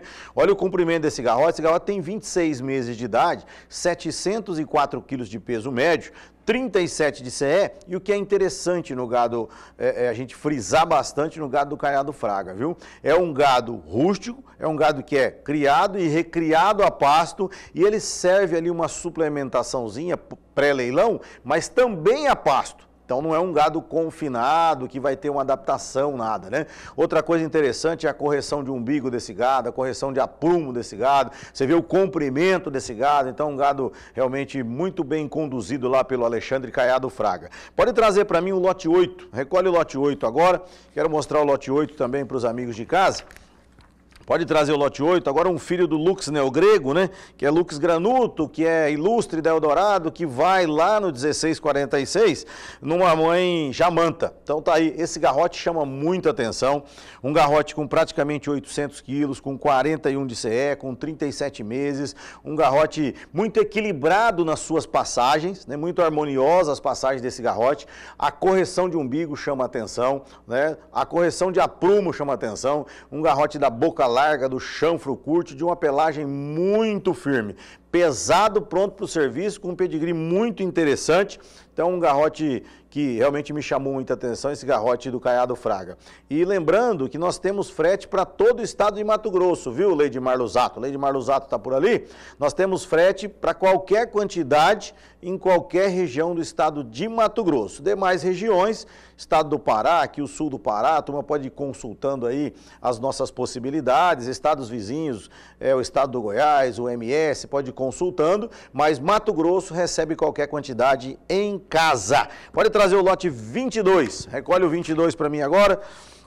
Lembrando mais uma vez, né? Esse remate, esse leilão, na próxima quarta-feira, então, depois de amanhã, às 20 horas, com transmissão do canal do Boi. O lote 22 para mim, canal? 22? Isso, obrigado. 728 8 quilos, mais um filho do Lux Neogrego, né? agora também na, numa vaca jamanta, 2569 da Mundo Novo, um garrote com 37 meses, 728 quilos, 40 de CE, outro garrote da cabeceira, grosso, né? Você vê o tanto. E ó, mais uma vez, olha o umbigo desse garrote, o aprumo desse garrote, o comprimento da linha dorso, a largura da linha dorso lombo desse garrote, barbela solta, chanfo curtinho, garrotaço, né? Garrote também extraordinário. Pode trazer para mim o 26, pode recolher o 26. 26 mais um filho do Logan, mais um filho do Logan da Digênio, 746 quilos, 39 de CE. Outro garrote parecido com aquele primeiro, né? Muito parecido, né? A pelagem, o padrão de carcaça, né? O comprimento da linha dorso, o volume que tem de posterior, o tamanho da boca desse garrote, né? O aprumo, o umbigo, muito parecido. Pode trazer o 29 agora, canal. Vamos mostrar o lote número 29. Mais um filho do Logan agora com 724 quilos, 39 de bola. Tá aí o lote 29 na tela. Logan entrou igual uma luva lá no gado da Caiado Fraga, né? Parece, parece que uma, uma linha de montagem, assim, agarrotada muito parecida, né? Comprimento, umbigo, aprumo, pelagem. Vamos mostrar o lote número 42, viu, canal? Pode trazer o 42 para mim lá? 42 é um lote triplo, né? Nós temos lá poucos poucos lotes múltiplos, né? Mas nós temos aí um lote triplo, né? Um filho do Caiaque, né? Caiaque que é basco, um filho do, do Orvieto e um filho do Man 105. Então, lote triplo aí também para os amigos que querem comprar um pouco mais de volume, ok? Então, só lembrando e reforçando, né, meu caro Zaidan, esse leilão na próxima quarta-feira, a partir das 20 horas, horário de Brasília, com a transmissão do canal do Boi. Mais informações, catálogo, todos os lotes estão lá é, no site da Ricardo Nicolau Leilões. Você pode olhar com mais calma, com mais tranquilidade e se preparar para esse evento, ok? Frete free para todo o estado do Mato Grosso. Meu caro Zaidan, forte abraço a você e até amanhã. Valeu, obrigado Arnaldo. Parabéns a todos vocês né, pelo, pelo leilão de ontem à tarde. Sucesso no Caiado Fraga agora. 6 horas e 5 minutos no mercado financeiro. A semana começou morna no câmbio e com alta na Bolsa de Valores. Mais uma vez conosco ao vivo da BBM, a Bolsa Brasileira de Mercadorias em São Paulo. As informações de Sara Kirchhoff. Ô Sara, o que, que aconteceu? Semana começou morna, o que, que é isso? que quer dizer isso? O morno é que quer dizer que não está quente nem frio, viu, Zaidan? A semana realmente começou sem grandes destaques aí para influenciar no mercado financeiro e o dólar ele ficou aí muito próximo dessa habilidade durante uma boa parte da sessão. Lá fora também, alguns indicadores não tiveram uma direção muito definida e a gente acabou acompanhando um pouco desse cenário. De um modo geral, os países né, que trabalham com exportações e commodities acabaram se beneficiando nessa segunda-feira, mas o dólar ele fecha o dia assim como ele esteve durante uma boa parte da tarde, somente com uma leve queda na comparação com o real brasileiro em uma segunda-feira morna, então sem grandes emoções. A desvalorização da moeda norte-americana no fechamento da sessão de hoje ficou em 0,09% e o dólar comercial é cotado no patamar de R$ 5,26. Já o Ibovespa, como você bem colocou, tem uma alta nesse início de semana, ajudado principalmente também né, pelas empresas ligadas às commodities, ações da Vale em alta, dando suporte ao índice. A valorização do Ibovespa na sessão é de 0,84% e o Ibovespa agora se aproxima dos 123 mil pontos, em 122.903 pontos no fechamento da sessão desta segunda-feira. Então, um dia sem grandes movimentações. O que esteve em destaque hoje no mercado financeiro foi o preço do ouro. O ouro teve uma alta e atingiu o maior patamar registrado desde janeiro desse ano. Segundo os especialistas, a desvalorização do dólar nos últimos dias foi um dos elementos considerados aí fundamentais para que isso tivesse acontecido aí nessa jornada de valorização alta para o dólar nesse início de semana. Agora, a cidade de São Paulo, Zaidan, assim como Santos, né, no litoral paulista, decretou um luto de sete dias desde ontem, né, o decreto foi publicado ontem, por sete dias por causa da morte do prefeito Bruno Covas, faleceu durante o fim de semana com 41 anos e lutava contra um câncer. Então agora o vice-prefeito da cidade assume a prefeitura e Bruno Covas é, recebeu muitas homenagens, evidentemente, ao longo do, do fim de semana, no domingo também, e deixa aí esse espaço na política brasileira. Então, deixar registrado isso também, um luto de sete dias aqui na capital paulista e também em Santos, que é a cidade natal dele. É com vocês, Aidan. Muito obrigado, Sara Kirchhoff, pelas informações. A Sara volta ainda hoje com os indicadores de preços agropecuários abrindo a semana, Sara. São 6 horas e 7 minutos, quase 8 minutos no horário de Brasília. Terminou ontem, mas temos a sequência hoje do De Olho na Fazenda, sete dias nas sete estrelas. Você se lembra muito bem, tivemos uma semana inteira com vendas de matrizes e reprodutores Nelore a preço fixo.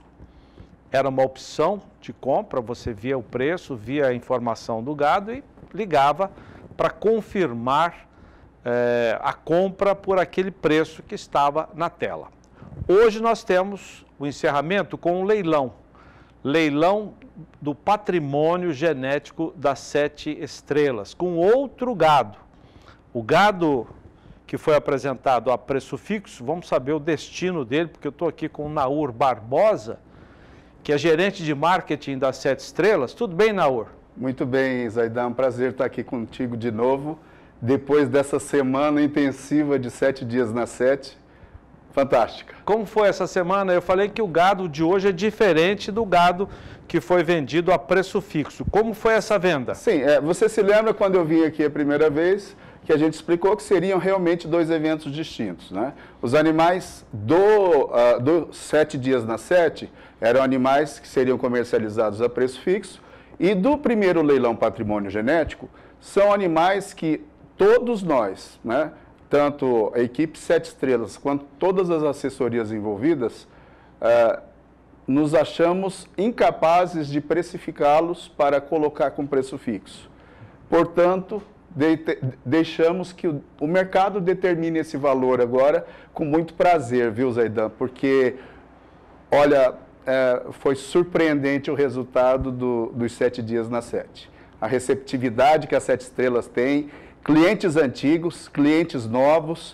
Uh, Vocês venderam para o Pará, para Rondônia? Venderam... Zaidan, mais de 12 estados do Brasil compraram.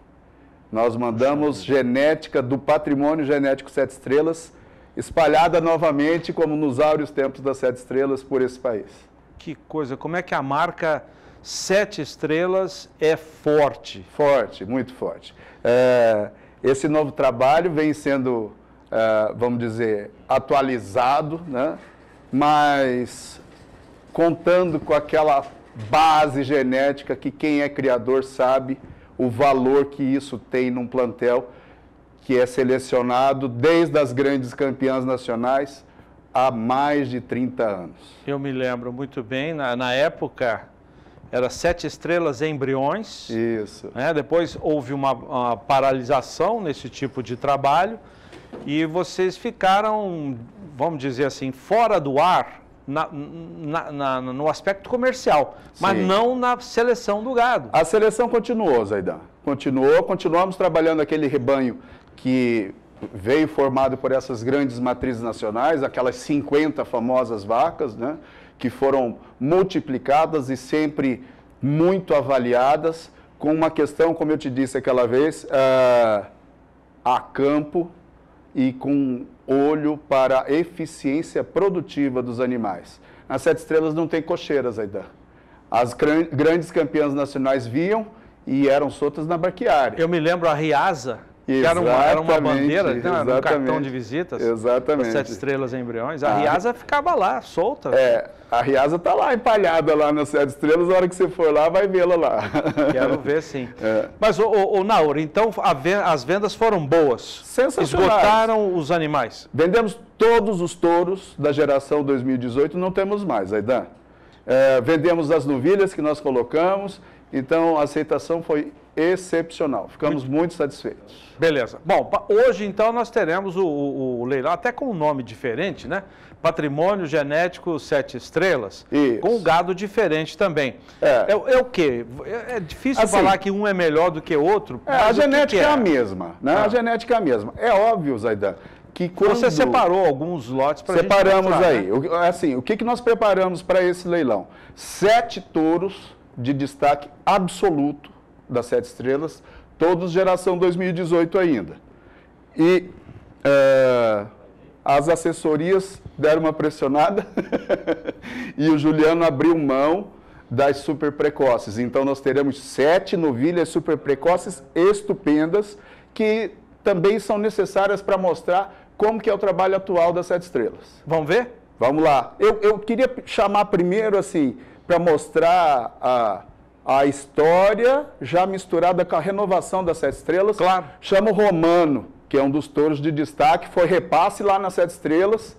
Tem 31 meses, já trabalhou na vacada e agora está aí, vai estar à disposição do mercado hoje à noite a partir das 20 horas. Esse é o Romano? Esse é o Romano Sete Estrelas. É um filho do USP, numa vaca musa. Musa com bitelo e 1646. Então, você conhece bem a história de Nelore, né? Resumir aí, vamos dizer, 80% da história do Nelore Nacional, né? Puxa vida. É, o Romano tem 1.075 quilos e ele tem 31 meses. Já trabalhou na vacada das Sete Estrelas, trabalhou no, no- plantel principal das Sete Estrelas. e Está credenciado então? Está muito credenciado. A- além disso, eu particularmente falo que o Romano é meu amigo, viu? Porque toda vez que eu estou lá, na hora do almoço, eu vou lá, bato papo com ele, agrado ele. Então, é aquela docilidade que você conhece do rebanho Sete Estrelas. Verdade. Vamos mostrar mais? O que mais você separou? Ah, eu acho que merece mostrar as- os grandes destaques, né? Vamos lá, então. Então, deixa eu pegar aqui só para eu confirmar. Pode colocar o número dos lotes.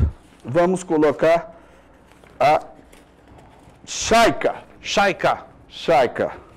A Chaika é uma vaca bárbaros. É o lote 21. Que eu acho que representa tudo que nós temos de bom na raça Nelore. Ela é um animal moderno, tem um frame baixo, tem uma beleza racial sensacional e olha essa carcaça que esse animal tem. É uma coisa impressionante. Essa vaca, todas as visitas, inclusive a, a visitação lá, como a gente tinha feito, né? Escalonada, com todos os cuidados, mas todos os visitantes ficaram impressionados. Eu acredito que ela é a nossa rainha do leilão essa noite. Chaika. Chaika. Ela tem, ela tem 17,15 de ABCZ, DK1. Aliás, ela vai prem do calibre e todos os, todas as fêmeas do leilão, inclusive as super precoces, vão prenhas e de prenheses DK1. DK1. Muito bem. Vai ser vendida em cotas de. de 30 divididas? parcelas, 100%. 100%. 100%. Muito bom. Quem Vamos- disputar vai ser dono completo dela. Vamos Essa mostrar estrelas vai mais abrir uma. mão. Chaika na tela, dá licença para entrar uma ou- um outro destaque do leilão de hoje à Vamos noite. pôr eh, a Catita. É lote 20. É mais uma. Deixa sair a. a aí, Catita, mais uma filha do Bárbaros. O Bárbaros é um grande fazedor de matrizes lá das Sete Estrelas, filho do Pacará. Em Vaca Royal, quer dizer, você está vendo que no leilão nós vamos ter representantes de todas aquelas famílias importantes que durante tantos anos aí fizeram as grandes eh, premiadas, né, os animais de destaque dos criatórios e participaram da formação inicial de muitos novos criadores. Isso é uma coisa muito interessante e hoje eu chamei a atenção. As Sete Estrelas têm o dom de chamar novos criadores para o negócio. Então, essas pessoas que quiserem ingressar, hoje é uma grande oportunidade. Uma grande oportunidade, Zaidan. Porque nós queremos, como sempre disse o seu Oswaldo, democratizar a genética. O seu Oswaldo Possari, que começou tudo isso, né? Hoje Sim, quem, quem está à frente das Sete Estrelas é o Juliano Beraldo, né? Que Juliano é Beraldo. casado com a filha, a. Rose, do seu Oswaldo Possari. Eu vamos, queria- vamos, vamos pedir licença para essa fêmea, para essa matriz e chamar outra. Vamos colocar o lote 17, que é a Riasa 2216. Muito bem. Um animal de avaliação de carcaça excepcional, excepcional. É, todos, todas essas vacas também foram feitas avaliação de carcaça. Então, quem quiser informação sobre elas, pode solicitar, nós estamos à disposição. É, na, na última entrada nossa, é, tinha o telefone para solicitar o contato, eu não sei se eles têm aí. Se Tem tiver... dois números na tela. Ah, sim. Esses são os telefones da Central, Central Leilões, que é a Leilões. responsável pelo evento. Então volta um pouquinho para cá, Lincoln, Tranquilo. só para a gente passar essa informação. Já já a gente retoma a apresentação dos animais. São três assessorias de pessoas conhecidas no meio do Nelore, no meio do Zebu, no meio do, do, do gado é, é, avaliado. Então muita gente com certeza vai ter o telefone de Sim. uma das três assessorias, que são a dos irmãos Carvalho, Geraldo Carvalho e Fernando. Fernando Carvalho. É, nós temos a Solé, do Marcelo Solé, Solé Assessoria. E temos também a Dueto, assessoria dos irmãos Cíntia e Leonardo Vieira. Então são Exatamente. três assessorias. Se você já tiver o contato, já pode pedir. Aliás, Ale, Carvalho já está na tela. Ah, já, que ótimo. Já disponibilizou para a gente. É, a Central Leilões e toda a sua equipe também está à disposição lá de plantão.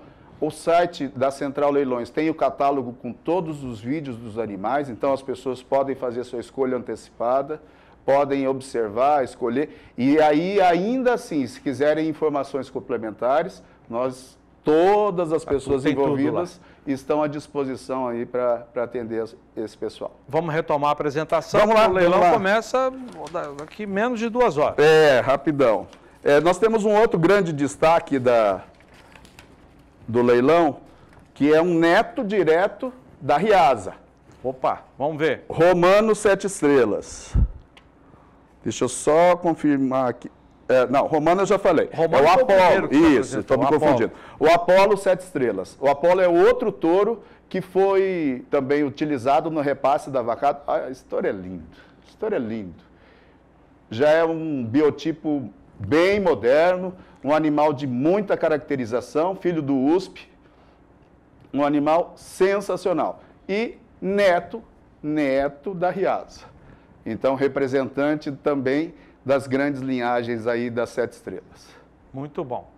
Vamos passar outro lote. Vamos lá, vamos para... Só um minutinho. Ah, o lote 27. Esse é um outro reprodutor que está com mais de mil quilos. Um filho do Pradip, que é Jabriel, de Naviraí. Numa vaca Samuque, que também puxa as linhagens do 16 e da Riasa. E ainda agrega a linhagem da Royal da Fazendinha. Touro sensacional, com uma beleza muito grande, ah, um score corporal sensacional também. Vai fazer muito sucesso no leilão, tenho certeza. Esse touro, aliás, vai abrir o leilão, Zaidan. Opa! É esse touro aí que vai abrir o leilão. Toca a a ordem de bandeira. entrada já está pronta e quem quiser também, só solicitar pelos contatos da central mesmo, já pode receber a ordem, para você não, não ficar tão ansioso, né? É, já sabe que a hora que você, É, se você você- tiver interesse em apenas um. Apenas um, você já sabe Já mais sabe. ou menos a hora que vai entrar. É um leilão curto. Mas esse é um leilão que você quer acompanhar do começo ao fim, né? Tomara, né, Zaidan? A gente É, acredita que as pessoas gostem de ver a qualidade das sete estrelas. Vamos mostrar outro? Vamos lá. Vamos aqui é, falando com o Naur Barbosa, que é gerente de marketing da Sete Estrelas. A casita, nós já mostramos, né? Não, a casita. Vamos mostrar a casita. Lote 19. Mais uma matriz. Entrando. Também filha do Samuque. Olha a beleza dessa vaca. Linda, linda. É impressionante. Ela tem um IABCZ de 10 e 37, DECA 1, vai prenhe do Rei Danute. A, a, a Casita ela é, é, representante da linhagem Musa. E o pai, o, o pai dela é o Samuque, que é o pai da anterior também, que é 16 na Riasa. Então, aí é a representante que já une várias linhagens de importância da, das sete estrelas. Também em 30 parcelas, né? Aliás, o leilão todo é 30, Todo em 30 parcelas, 30 parcelas. Uh, seis duplas, mais 18, e com 10% de desconto à vista e frete grátis para a maioria das, das localidades do país. Algumas localidades existem umas restrições de, é, de tráfego mesmo, então as pessoas que estão mais, mais distantes, é interessante que elas façam uma consulta. Né? E existem aquelas zonas de é, restrição uh, sanitária fitose, mesmo, né? por causa da fitose, então essas uhum. não, não, não, são possíveis de, claro, de fazer aí não entrega. entra, não tem jeito, não tem só jeito, material não tem genético. Jeito. Né? Muito bem. É, estamos chegando ao final da apresentação, mas dá para mostrar mais um, um, um, lote do leilão na UR. Olha, é, eu já vi aqui hoje o, o, João Antônio Gabriel, leiloeiro. Não sei se ele vai dividir o martelo com algum outro companheiro, mas o João Gabriel já, já está desde cedo aqui no nosso centro de TV, se preparando para o leilão de hoje à noite, com realização da Central Leilões. Está aqui também o Lourenço Campo, diretor da leiloeira. Também Eu queria mostrar o lote 23. Esse é um lote bem interessante, é um reprodutor de repasse que traz o sangue renovado. É dessa, uh, o pai dele é o Aloca, que é dessa última importação. Então, quem precisa de um refrescamento genético, está muito fechado, é um animal de sangue renovado e a gente sabe, POI, né? Uhum. Uh, o pai é POI, e esses POIs, geralmente, nos programas, como eles não têm um período de avaliação grande, Zaidan, os números deles geralmente são baixos. Agora, quando pega uma vaca sete estrelas, que tem uma altíssima avaliação, produz um animal desse, que é sangue refrescado, tem uma beleza racial fantástica e ele é DECA 1. Isso é muito raro. Nesses animais importados, é muito raro um, sair um animal DECA 1. Acho que dá mais tempo para você mostrar outro. Vamos mostrar. Vamos lá, então. Uh, o lote 22. Essa é outra neta da Riasa. Lembra dela, Zaidan? Essa vaca parece muito com a, a Riasa. Com a Riasa lembro, claro. Né? Parece que ela está aí de novo. E a filha dela é um dos grandes destaques do leilão também. Não é só ela, não. Então, ela tem uma filha também que vai ser leiloada no início do leilão. Qual que é a filha dela? Que lote que é? Vamos lá que eu já te falo. Essa neta da Riasa. E aí nós temos já a filha dela também participando. Teremos a filha dela participando do leilão de hoje à noite. Não tem problema, se não localizou. não, eu, eu gente, localizo aqui. Né? A gente chama outro lote. O importante é, é o máximo possível para o leilão. Só achar é, o número daqui dela Daqui a pouco, aqui. às 8 horas, horário Isso. de Brasília, aqui no canal do Boi. Ieda, lote 3. Lote 3, que é filha dessa fêmea aí. Da Riasa. Da Olha Riasa. só a beleza repetindo aí, sabe? É outro animal de altíssima avaliação, a filha do Rei USP, juntando né, o que tem de mais atual aí, um dos reprodutores mais famosos da atualidade, com a tradição das grandes matrizes sete estrelas. Então, ela é REN USP, na RIAS 8407, você vai ter a oportunidade de adquirir a mãe dela também no leilão. Ela tem um IABCZ de 19,46, é DECA 1, vai com um prenhez do General da Mundo Novo, e o parto previsto para outubro. 24 meses, essa, pelo, pela, é 19 ali, não é isso? Isso.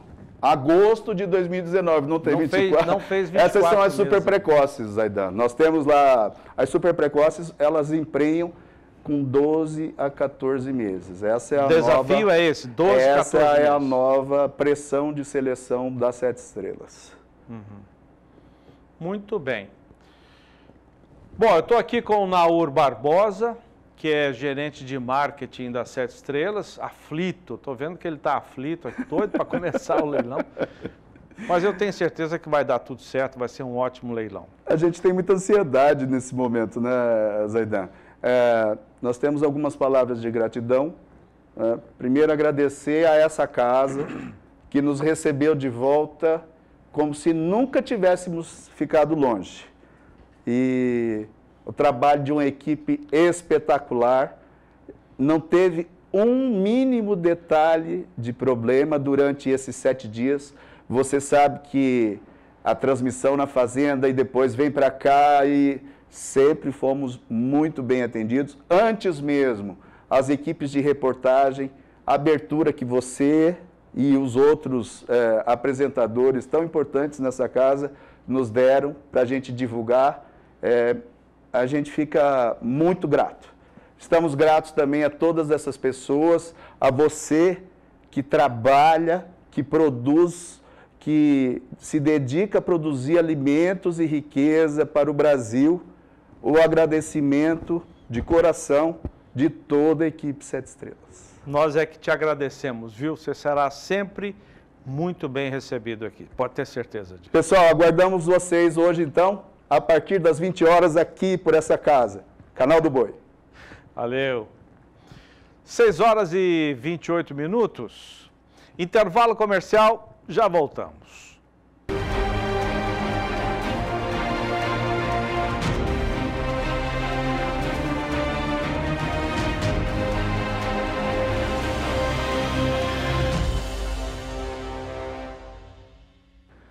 De olho na fazenda Nelore KR Calçaque, oferta a preço fixo, vendas a preço fixo de animais Nelore, novilhas, matrizes, reprodutores, realização da Connect Leilões. E quem vai comandar a partir de agora a apresentação e as vendas é o Luiz Tomé, da Connect Leilões, ao vivo de Londrina, no norte do Paraná.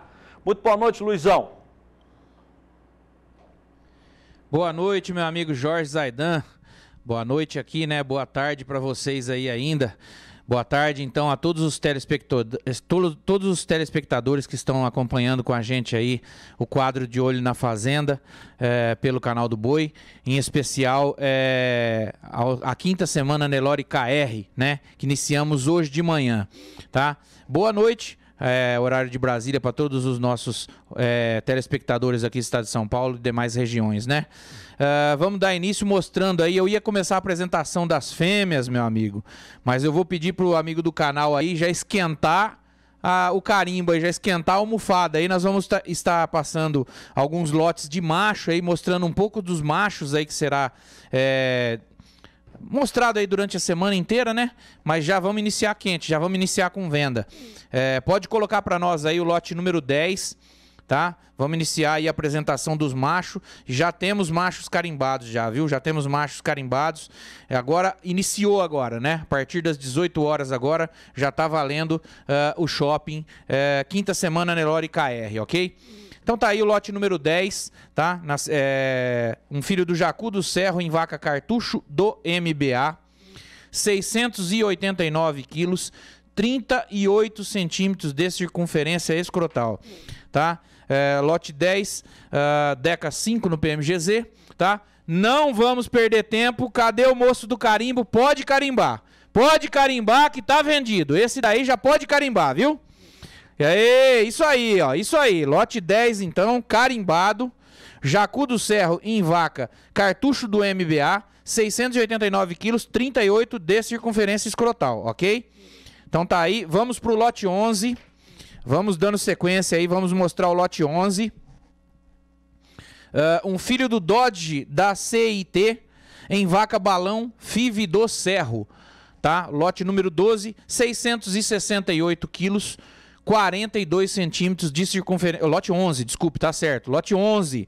É, um filho do Dodge da Seite em vaca balão FIV do Cerro. 668 quilos, 42 centímetros de circunferência escrotal, tá?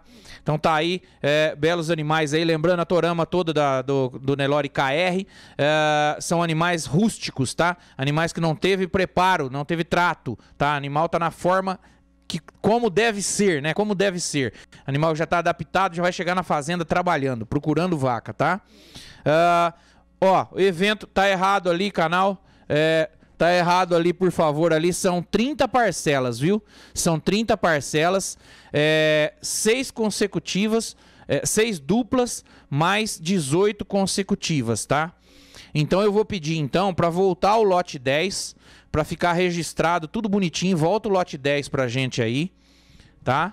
São é, 30 parcelas, seis duplas, mais 18 consecutivas. Isso. Aí, show de bola. Agora pode bater o carimbo aí para ficar registrado tudo certinho, tá? Isso. Show de bola, show de bola. Então tá aí, lote número 10 vendido, tá? Uh, é, o, o, evento está sendo é, capitaneado em 30 parcelas, tá? Seis duplas mais 18 consecutivas, tá? É, se o amigo optar pelo pagamento à vista, tá? Aí tem 8% de desconto, 10% de desconto para pagamento à vista, 10%, tá? É, para pagamento à vista. Comissão de 8%, tá? De praxe dos leilões de elite e dos leilões de genética, tá? Agora sim pode colocar para nós o lote 11 então, um filho do Dodge da CIT, em vaca balão do FIV do Cerro, tá? 668 quilos, 42 centímetros de circunferência escrotal. Aí, agora tá tudo certinho, ó. Já tá com preço, tudo certinho, tá? É, 650 na parcela aí, o lote número 11, ok? Pode colocar para nós agora aí na sequência o lote número 12. O lote número 12. Uh, ah, um filho do Rendif em vaca Kyuzan da Goia e outro filho do Dodge da CIT em vaca balão FIV do Cerro, tá? Uh, mais dois touros aí, caráter mocho bem evidente, 676 quilos, 35 de circunferência escrotal. Outro 614 quilos, 34 de circunferência escrotal. Carimba, carimba, carimba, que esse já foi beber água, já tá vendido, tá? Eu tava devendo o comprador do lote número 10, tá? É o mesmo comprador do lote número 12, tá? Agropecuária WKF. Agropecuária WKF. Lote 10 e lote 12 vendidos, ok? Pode colocar para nós na sequência agora o lote 13. Pode colocar para nós na sequência o lote 13. Uh, um filho do Jacu do Cerro em vaca Chiva da Nelore. 600 quilos, 38 centímetros de circunferência escrotal. Certo? Tá aí, Jacu do Cerro em vaca Chiva da Nelore, 600 quilos, 38 centímetros de circunferência escrotal. É isso aí, meu amigo, é isso aí. É isso aí, Flavinha tá aqui com a gente, tá o Luigi também, né? Ligações aí na mesa aí. É...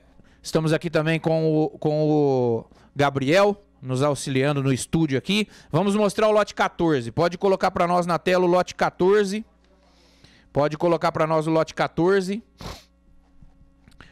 Tá aí, chegou o lote 14 aí, um filho do Sudão, FIV de CV, em vaca Rondel da Bom Sucesso. Uh, 645 quilos, 36 de circunferência escrotal. E outro filho do Brado da Santa Marina, em vaca aqui usando a Goia. 600 quilos, 35 centímetros de circunferência escrotal. 29 e 33 meses esses dois touros, viu? Torama pronta, como eu tô falando, torama pronta, pronta, pronta para já chegar na fazenda trabalhando. Ó, esse daí melhorou a qualidade e barateou na parcela, hein? Interessante esse daí, hein? Fica a dica aí pros amigos de casa aí. Lote interessante aí, lote número 14, ok? Pode colocar para nós na sequência o lote número 15. Pode colocar para nós na sequência o lote número 15, um filho do Gelum em vaca 4155 da IPB. 653 quilos, 33 centímetros de circunferência escrotal. 653 quilos, 33 de bola estouraço, hein? É isso aí, ó. Gelum colonial em vaca 4155 da IPB, Flavinha. É isso aí, aí sim, hein? Então pode trazer para 550 reais a parcela, um biguinho corrigido, né? Animal que está aí na sua melhor forma, aprumos corretos, né? Já vai chegar na fazenda trabalhando, produzindo e produzindo bezerro de qualidade, ok? Pode colocar para nós aí na sequência agora o lote 16. É, meu amigo, temos mais carimbadas durante o dia ainda, hoje pela frente ainda, viu? E você, ó, Seja esperto. Quem chega primeiro bebe água limpa, viu? Tá aí, ó. Lote 16. Um filho do Sudão da Mundo Novo em vaca Balão Five do Cerro e o telefone já tocou novamente, né? Uh, 602 quilos, 44 de bola. Esse tem 44 de bola, não é brinquedo não, hein? Quase meio metro de bola, hein? Rapaz, é fertilidade, hein? Fertilidade a toda prova aí, hein? Ê, moçada, ó. 29 meses também, padrão esse aí, né? Nelore padrão. Vamos lá na sequência pro lote de número 17. Vamos na sequência pro lote 17. Lote 17, um filho do Jacu do Cerro em vaca. Cartucho MBA, 680 quilos, 38 centímetros de circunferência escrotal. Olha aí, ó, branco já escurecendo as extremidades aí, pescoço também, um sanglés, né? A volta mais escura ali perto do olho, característico do zebuíno, né? Do, do Nelore, né? Das raças zebu aí. Tá aí, ó, toraço, toraço, toraço, 550 na parcela. 550 na parcela. Lote 17, amigo. Anote aí o lote 17, ok? Depois liga pra gente aqui. Estamos aqui com o Luigi, com a Flávia, com o Gabriel, eu também. A gente bate escanteio e corre dentro da área pra cabecear, viu? Que não pode perder de levar a genética pra casa, viu? Genética KR pra casa, viu? Pode colocar pra nós aí na sequência agora o lote 18. O 18 é um filho do Donato de Naviraí em vaca revoltado da Cabi. 660 quilos, 42 de bola, hein? 660 quilos, 42 de bola. Ê, moçada, ó. Torama tá enxuta, tá pronta, querendo vaca, ó. Ó como caminha, ligeiro, caminha fácil, né? Não tem adapta adaptação nenhuma, né? Já chega na sua propriedade, desembarca já procurando vaca. Desce do caminhão procurando vaca. Ê, moçada, ó. Negócio bom passando aí na tela aí, ó. 650 na parcela. Pode colocar para nós agora aí o lote número 19. Pode colocar para nós o 19. Tá? É, um filho do Alux da Santa Marina em vaca Gomulca TE da Sabiá. 661 quilos, 39 centímetros de circunferência escrotal. Um Deca 2 aí, hein? Ó, 31 meses, quinhentão na parcela. Baixou a parcela, hein? Baixou a parcela, tá ficando fácil pro amigo levar a qualidade para casa aí, hein? Torama, lembrando, gente, essa torama é rústica, bruta, tá em sistema de pasto, não foi, não teve trato nenhum. Se tivesse colocado esses animais no trato aí 60 dias, 90 dias aí antes do, do evento, vocês iriam ver como é que ia estar tá essa torama, né? Agora não, essa torama tá foi tirado do pasto, feito um toalete e tá aí pros amigos aí, ó, tá? Então já vamos trazer aí o lote 20, lote 20 na sequência tá? Uh, dois, é uma dupla agora, hein? Ó, Dodge da Seite em vaca balado LM do Cerro. Meu celular já tocou aqui. Meu celular já tocou. Eu acho que tem novidade.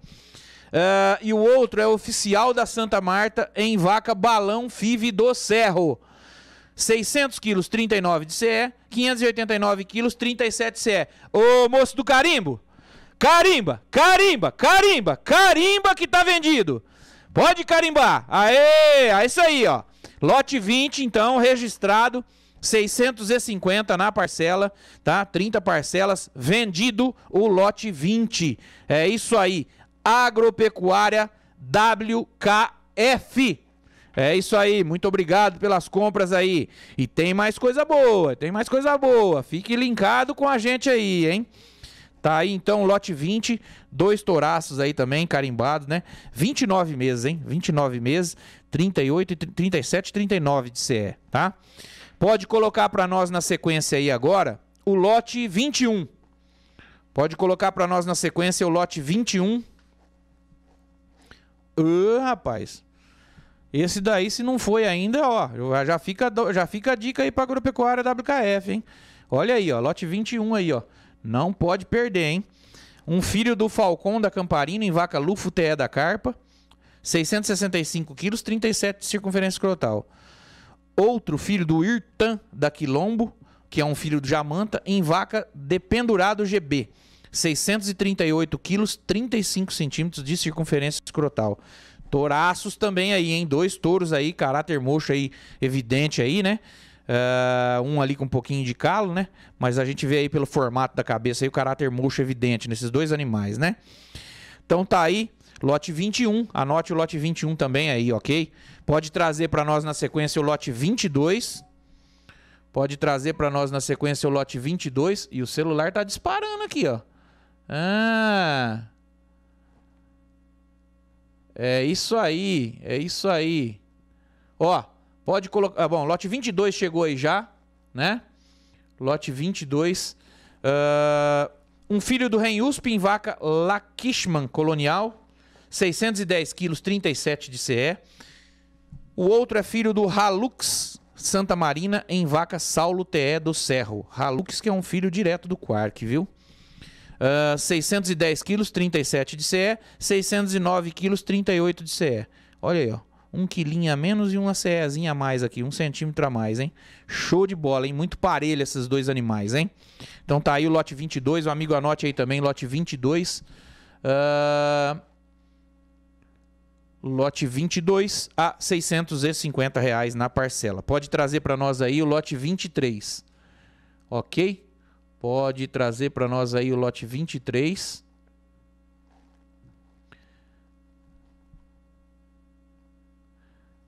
É isso aí, é isso aí, é isso aí.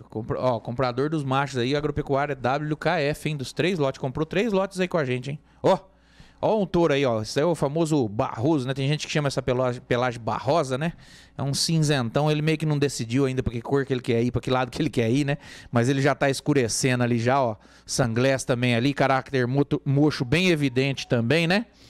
É isso aí, ó. Quem tá nos acompanhando lá é meu amigo Robinho também, viu? Robinho tá lá. Ê, Robinho, garrado, né, Robinho? É isso aí, Robinho. Ó, uh, um filho do Grimaldi Five do Pingado em vaca tecelão da Santa Marta. 600 quilos, 36 centímetros de circunferência escrotal. 29 meses, hein? 480 apenas na parcela. Opa, opa, opa. Ficou fácil, hein? Tá fácil esse touro aí, hein, gente? Ó, Será que baixaram o preço dele só por causa dessa pelagem aí? Tirou o couro, a carne é da mesma cor, hein? Tirou o paletó, a carne é uma só, viu? Ê, moçada, ó. Tá aí, ó. Oportunidade passando na tela, viu? Uh... Lote 24 na sequência. Pode colocar para nós aí o lote 24 um filho do Batuta do Nelore KR, aí ó, criolo da Nelore KR, né? Olha aí, caráter mocho evidente, mochinho, mochinho, mochinho. Cabecinha de cobra aí, ó, um biguinho corrigido. Costeludo esse danado, hein? Costeludo, hein? É, ele é PC, tá? Vamos deixar bem frisado aqui, ele é PC. 622 quilos, 37 de circunferência escrotal. PC por papel, PO por direita, hein? Muito bom esse touro, hein? Muito bom esse touro mesmo, viu?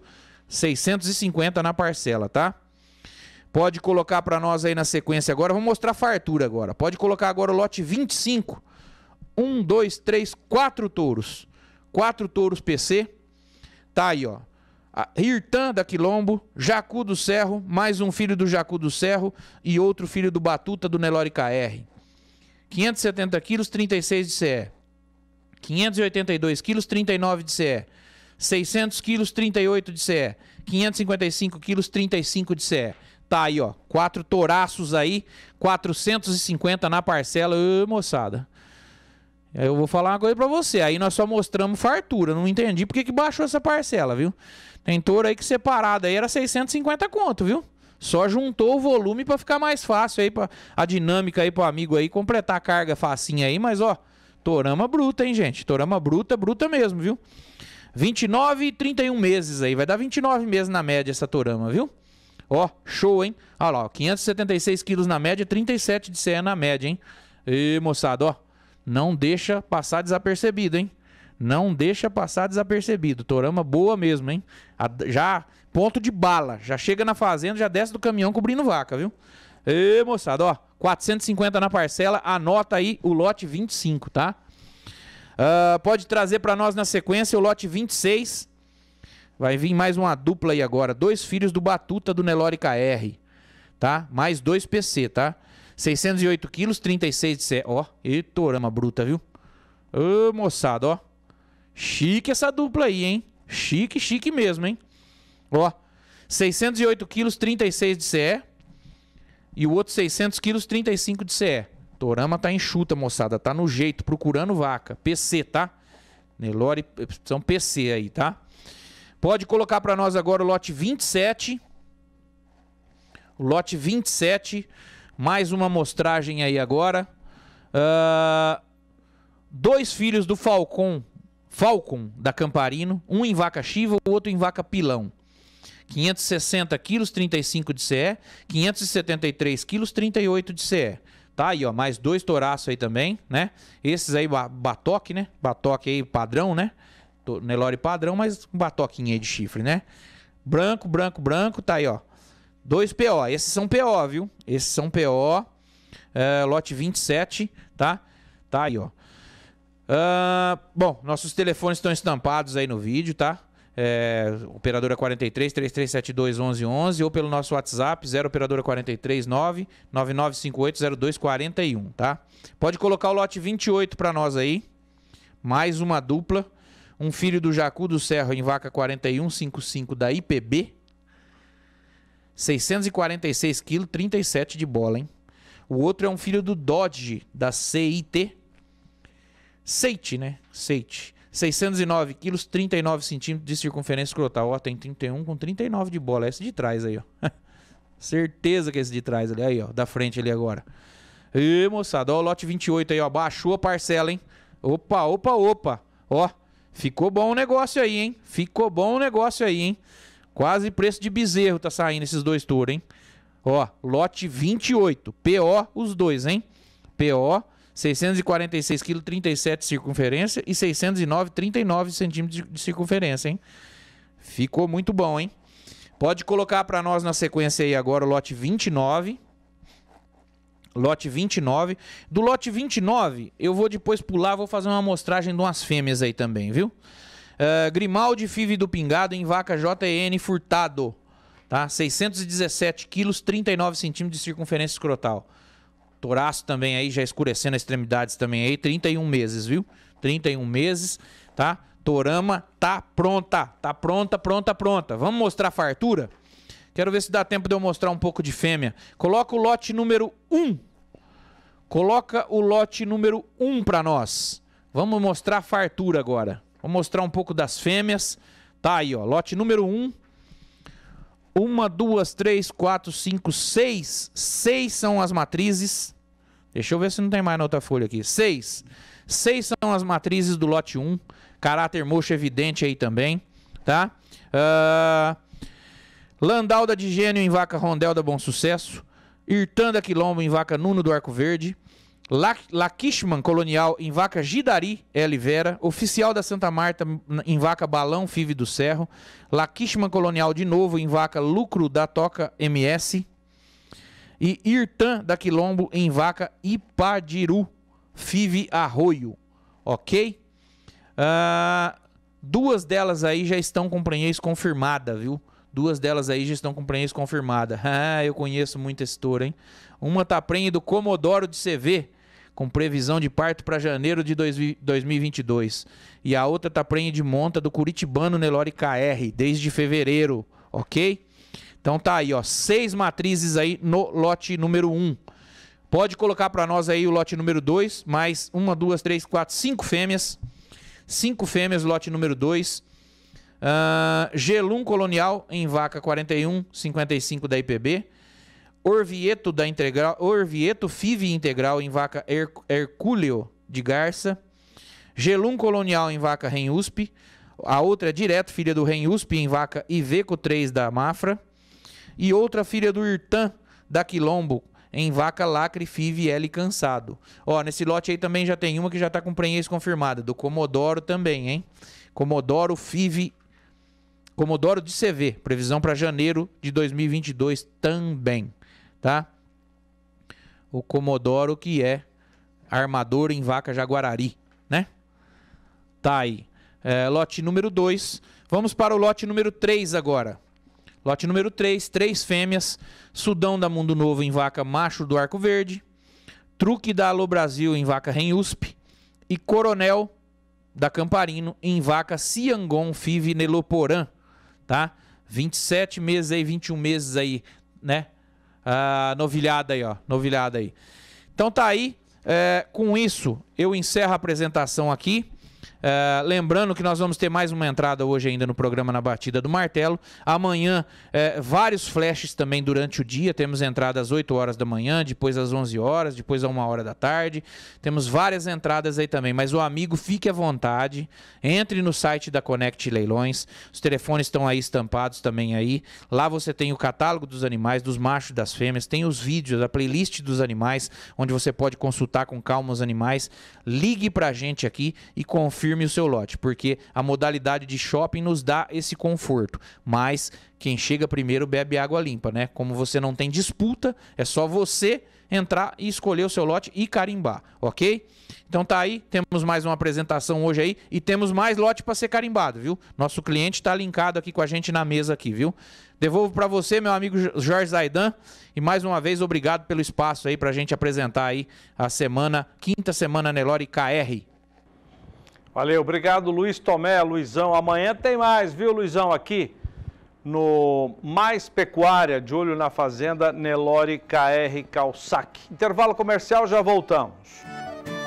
Mercado do boi gordo parado nesta segunda-feira, segundo o relatório da Scott Consultoria.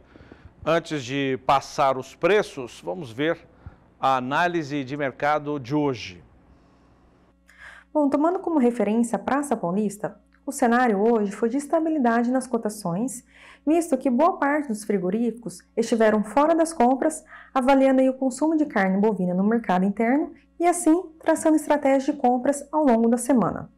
Outro ponto é a chegada da segunda quinzena do mês, período sazonalmente de consumo interno mais fraco, e somado também às programações de abate mais confortáveis, sustentar esse cenário. Destaque de hoje ficou para o sul de Goiás, onde oferta melhores de animais da região, somado ao escoamento lento de carne bovina, os preços do boi e da vaca gorda recuaram R$ 2,00 por arroba na comparação feita dia a dia. Já no sudeste de Rondônia, o cenário foi diferente. De ofertas restritas, escala de abates curtas de no máximo 3 dias úteis, resultaram em alta de R$ 2,00 por arroba para o boi gordo e para a novilha gorda. Bom, esse foi o destaque do fechamento dessa segunda-feira. Muito obrigada a todos pela atenção e até a próxima. Muito obrigado, Tainá Drugovic, analista da Scott Consultoria. Poucas mudanças nos preços hoje, a Tainá resumiu bem o, o, mercado abrindo a semana. Vamos ver os preços da região sudeste, onde não tivemos nenhuma alteração. São os mesmos da última sexta-feira. Esse preço é à vista, já com descontos dos impostos. Barreto e Araçatuba mantiveram os R$ 299,50. Na região sul, mesmo cenário, mesmo cenário, sem alteração de preços no noroeste do Paraná, no oeste de Santa Catarina, oeste do Rio Grande do Sul e em Pelotas. Mesmo cenário, é, exceto algumas mudanças. Vamos para Goiás e Mato Grosso do Sul. A Tainá lembrou o sul de Goiás, que hoje teve uma queda de R$ 2,00 na arroba. E em Campo Grande, a capital de Mato Grosso do Sul, queda de R$ 1,00 na arroba. Nas demais praças, 0 a 0. Mato Grosso também 0 a 0 hoje, sem alteração na capital e nas regiões. A região Nordeste, apenas uma alteração, que foi a queda de um real por arroba no oeste do Maranhão. E na região norte, em Rondônia, Tainá também destacou uma alta de R$ 2,00 na arroba na região sudeste do estado. Eh, de Rondônia, R$ 287,50 a arroba esse preço à vista já com desconto dos impostos. E uma queda de um real no sul do Tocantins. Nas demais regiões, do norte do país, 0 a 0, sem alteração nesta segunda-feira. Daqui a pouquinho, agora são 7 horas, às 8 horas no horário de Brasília, você tem aqui depois de Na Batida do Martelo, o leilão das sete estrelas, patrimônio genético das sete estrelas. Já tivemos uma apresentação belíssima de reprodutores e doadoras Nelore. O leilão será no formato virtual, transmitido do Espaço Gourmet do Canal do Boi, em Campo Grande. Lá está o nosso companheiro Éder Campos, que vai trazer mais informações do leilão de hoje à noite. Muito boa noite, Éder. Olá, Zaidan, boa noite a você. Boa noite também aos amigos que acompanham o programa Mais Pecuária nesse momento, aqui pelo canal do Boi, né? E a gente está justamente aí a poucos minutos desse leilão que para a gente, né, a gente esperou aí 10 dias para ele acontecer. Não, esperou muito mais, né, porque nós esperamos a volta das sete estrelas ao cenário da pecuária, que agora volta e volta, olha, lá em cima, com a prateleira de, na prateleira de cima, com muita qualidade, com muita genética, de muita consistência, viu? O evento começou é, no dia 10, agora de maio, segue até hoje, dia 17, quando teremos o leilão de encerramento. Mas olha só a boa notícia, Zaidan. Tudo que estava à disposição no shopping para venda foi-se. Que bom, né? Que o Brasil agora vai ser regada com essa genética sete estrelas, viu? Que bom. Liquidez no, na venda dos animais, né, no shopping. E hoje o leilão. O leilão são animais à parte, viu? Eu estou com o Naur Barbosa aqui, é, da, da, da assessoria de marketing do evento, fez um grande esforço para que esse evento acontecesse com grande sucesso. E o Naur está aqui conosco justamente para falar né, dessa evolução do evento nesses 10 dias, praticamente, viu? Embora são sete dias na sete, mas são praticamente aí 10 dias de trabalho, porque nós começamos divulgando um pouquinho antes, eles estiveram conosco aqui, mas na verdade a preparação é anterior também, né? Tem isso ainda. Naur, boa noite para você. Eu estava dizendo e você acompanhando, a gente estava conjecturando essa conversa agora há pouco, né, de que a expectativa, a espera não foram só sete dias, dez dias, não, né? Uma expectativa de que a sete voltasse para o cenário pecuário, até que enfim está de volta. Que bom, né? Que bom para todo mundo, né? Boa noite a todos, Éder. É um grande prazer dar esse tipo de notícia, né? A gente ficou bastante apreensivo. Ah, o preparativo de um evento dessa magnitude, você sabe que é muito longo, bastante desgastante. Todas as equipes estão, estavam envolvidas nisso, a equipe da Fazenda, as assessorias, vocês aqui que nos acolheram com tanto carinho. É, como eu disse agora há pouco para o Zaidan, é, nos receberam como se nunca tivéssemos estado distantes. É verdade. É, nós temos um agradecimento muito grande a toda essa equipe dessa casa. Uh, estamos muito felizes, vendemos tudo que tínhamos ofertado a preço fixo. E esse leilão, Éder, ele é exatamente porque nós não conseguimos precificar esses animais.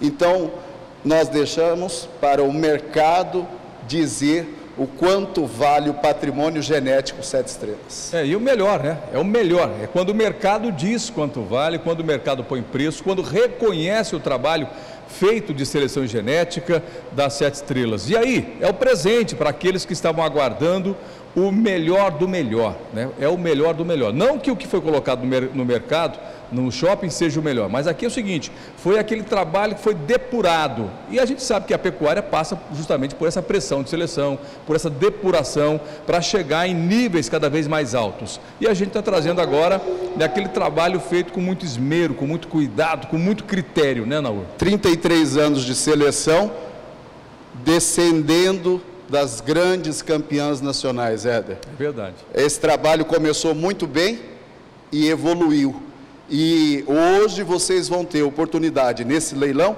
de conhecer o trabalho atual das Sete Estrelas. Que está maravilhoso, por sinal. Viu? Nós vamos ter no tá leilão 22 fêmeas e 7 reprodutores. As fêmeas nós temos novilhas super precoces, 7, nós gostamos de, de 7, né? 7 novilhas super precoces, 5 novilhas da geração 2018, é, dez vacas que representam as grandes linhagens das sete estrelas, com produção comprovada, inclusive com filhas e um filho que vai estar no leilão.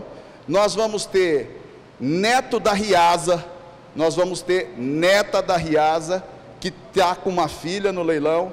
Então, hoje é assim, um panorama geral da história das sete estrelas e do que ela vai representar, do que ela representou durante todo esse tempo e o que ela vai representar daqui, daqui para frente na Isso. pecuária nacional. Não, só para a gente finalizar, né? Você que acompanhou de perto todo o trabalho, essa retomada agora das Sete Estrelas, você, resumidamente, sai satisfeito com o trabalho executado nesses sete dias de trabalho, com o resultado que teve, a resposta que teve do, dos pecuaristas do Brasil que buscaram a genética sete estrelas?